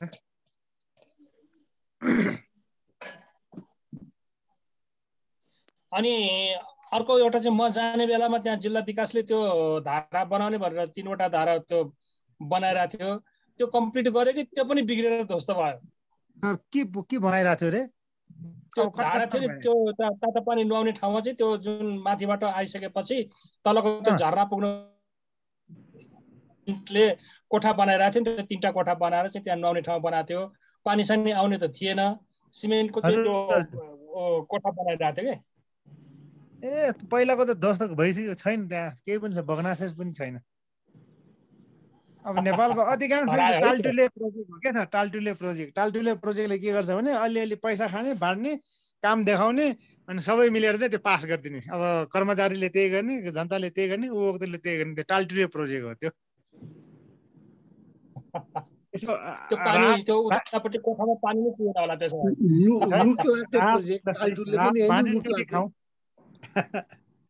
न्यु लाएर खाउँ च्याउ खानु भन्ने एउटा उखान छ सर। त्यतिकै के खानु? एउटा न्यु लाउनु पर्यो। न्यु लाएर खाने काम त्यसै खायो भने सिधै अब भ्रष्टाचार गर्यो अथवा अरू अरू अपशब्द हुने भयो। न्यु ल्याएर खायो भने यसरी गएर खायो भने चाहिँ अनि चित्त बुझाउने भए।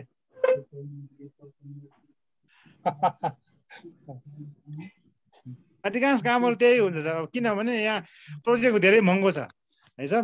त्यस मुख्य कारण चाहिँ यातायात साधन नै हो। अहिले चाहिँ मान्छे नेपालगञ्जदेखि यहाँ आउनलाई बिस हजार पनि तिरे टिकटको सर। अहिले चाहिँ प्रति केजी सामानको तिन सय रुपियाँ छ। अब त्यो सबै चिजहरू मेसिनरी चिजहरू चाहिँ स्थानीय रूपमा उत्पादन हुने त्यहीँ बनाउन मिल्ने कुराहरू होइन। पाइप सिमेन्ट सबै जहाज चढेर आउँछ है सर। खाद्यान्न जहाज चढेर आउँछ सरसामान जहाज चढेर आउँछ मान्छे जहाज चढेर आउँछ। अनि त्यही जहाज चढेर त्यही माथि चाहिँ अनि हामी निर्वाह गर्छौँ। कति महँगो जीवनशैली है सर। फेरि त्यसको सुविधा चाहिँ होइन। अभावै अभावमा चाहिँ महँगी बाध्यताको महँगी हो सर त्यो। त्यसरी पनि सोच्नुपर्छ घेरिएको छ। चुन ढुङ्गा छैन किनभने सिमेन्टको सट्टाको चुन ढुङ्गा प्रयोग गरेर पनि निर्माणको व्यवस्था मिलाउन सकिन्छ नि अलिकति। होइन चुनढुङ्गा पाइँदैन त्यो ठाउँमा। के रहेछ?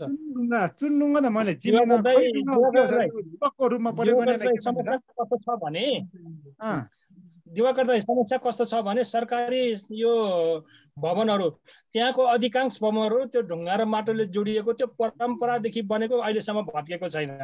तर सरकारी संयन्त्रको त्यो अफिस बन्नको लागि उनीहरूलाई जस्ता नै चाहिने सिमेन्ट नै चाहिने अनि त्यो प्लास्टरै गर्नुपर्ने अनि त्यो सबै चाहिँ नेपालगञ्जबाट बोकाउनु पर्ने भएपछि अनि त्यहाँको पैसाले चाहिँ मैले भनेको छु कर्णालीको विकास भनेको नेपालगञ्ज अनि त्यसपछि सुर्खेत धनगढी र काठमाडौँ। त्यहाँको पैसा जति जम्मै यता आउँछ त्यहाँ चाहिँ खोक्रो मात्रै त्यहाँ पुग्छ दाजु। मैले त्यो देखेको। अनि मैले मेरो आफ्नो अनुभवमा चाहिँ हुम्लालाई मैले कसरी चिनेको छु भने त्यहाँ पैसाको एकदमै अभाव छ दाजु। र त्यो पैसाको अभाव हुँदाखेरि एक थरी चाहिँ कस्तो छ भने स्विजरल्यान्डको जीवन बिताइरहेछ उनीहरूसँग पैसा पनि छ सम्पत्ति पनि सब त्यहाँ यस्तो आनन्दको जीवन बिताइरहेछ त्यहीँको मान्छेहरूको एउटा जीवन त्यस्तो छ। र त्यहीँदेखि तलतिर अलिकति तलतिर जाने हो भने उनीहरूसँग पैसा नभएर खानेकुराको लागि उसँग जे छ खानेकुरा साट्नको लागि सट्टापट्टा उसले दिएको उसलाई दिन्छ उसले खानेकुरा ल्याएर सट्टापट्टा गरेर खानेछ। त्यो किन्नको लागि उसँग पैसा पनि छैन। त्यस्तो किसिमको चाहिँ यस्तो त्यो के भन्छ विभेद र त्यो अन्तर छ त्यो एकदमै त्यो भनि नसक्नै छ कि त्यो सर त्यस्तो त्यो विघटताले जनेको जन्माएको श्रृङ्खला हो क्या सर यो? श्रृङ्खला हो यो। तपाईँको अहिले हामी एक्काइसौँ शताब्दीको कुरा गर्छौँ। करिब करिब त्यहाँ सत्रौँ शताब्दीका मान्छेको इतिहासमा हामी पढ्छौँ नि त्यो यहीँ पाइन्छ। सत्रौँदेखि एका एक्काइसौँसम्मको चाहिँ एउटा लहर सिरिज नै खडा भएको छ क्या सर यहाँ? सबै छ यहाँ। हजुरले भनेको कुरा सही हो।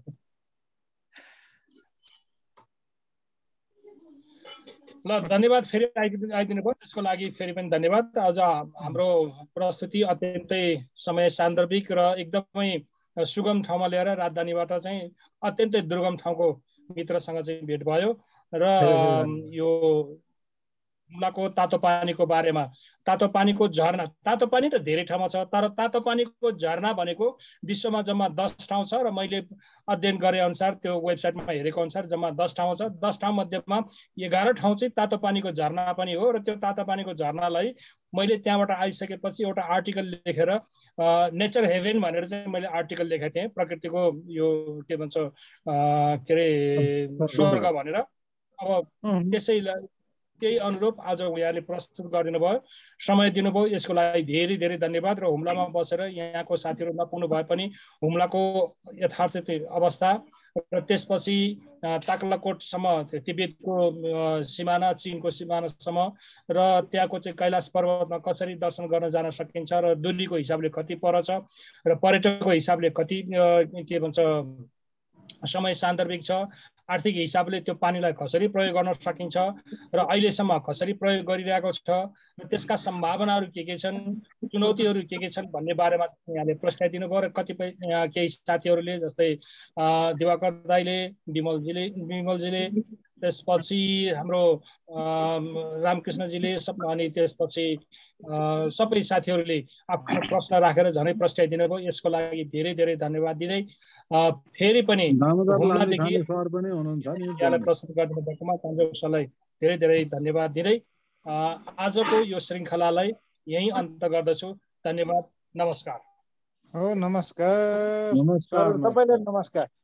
फेरि फेरि भेट्ने no, no. Thank you. Thank you so much.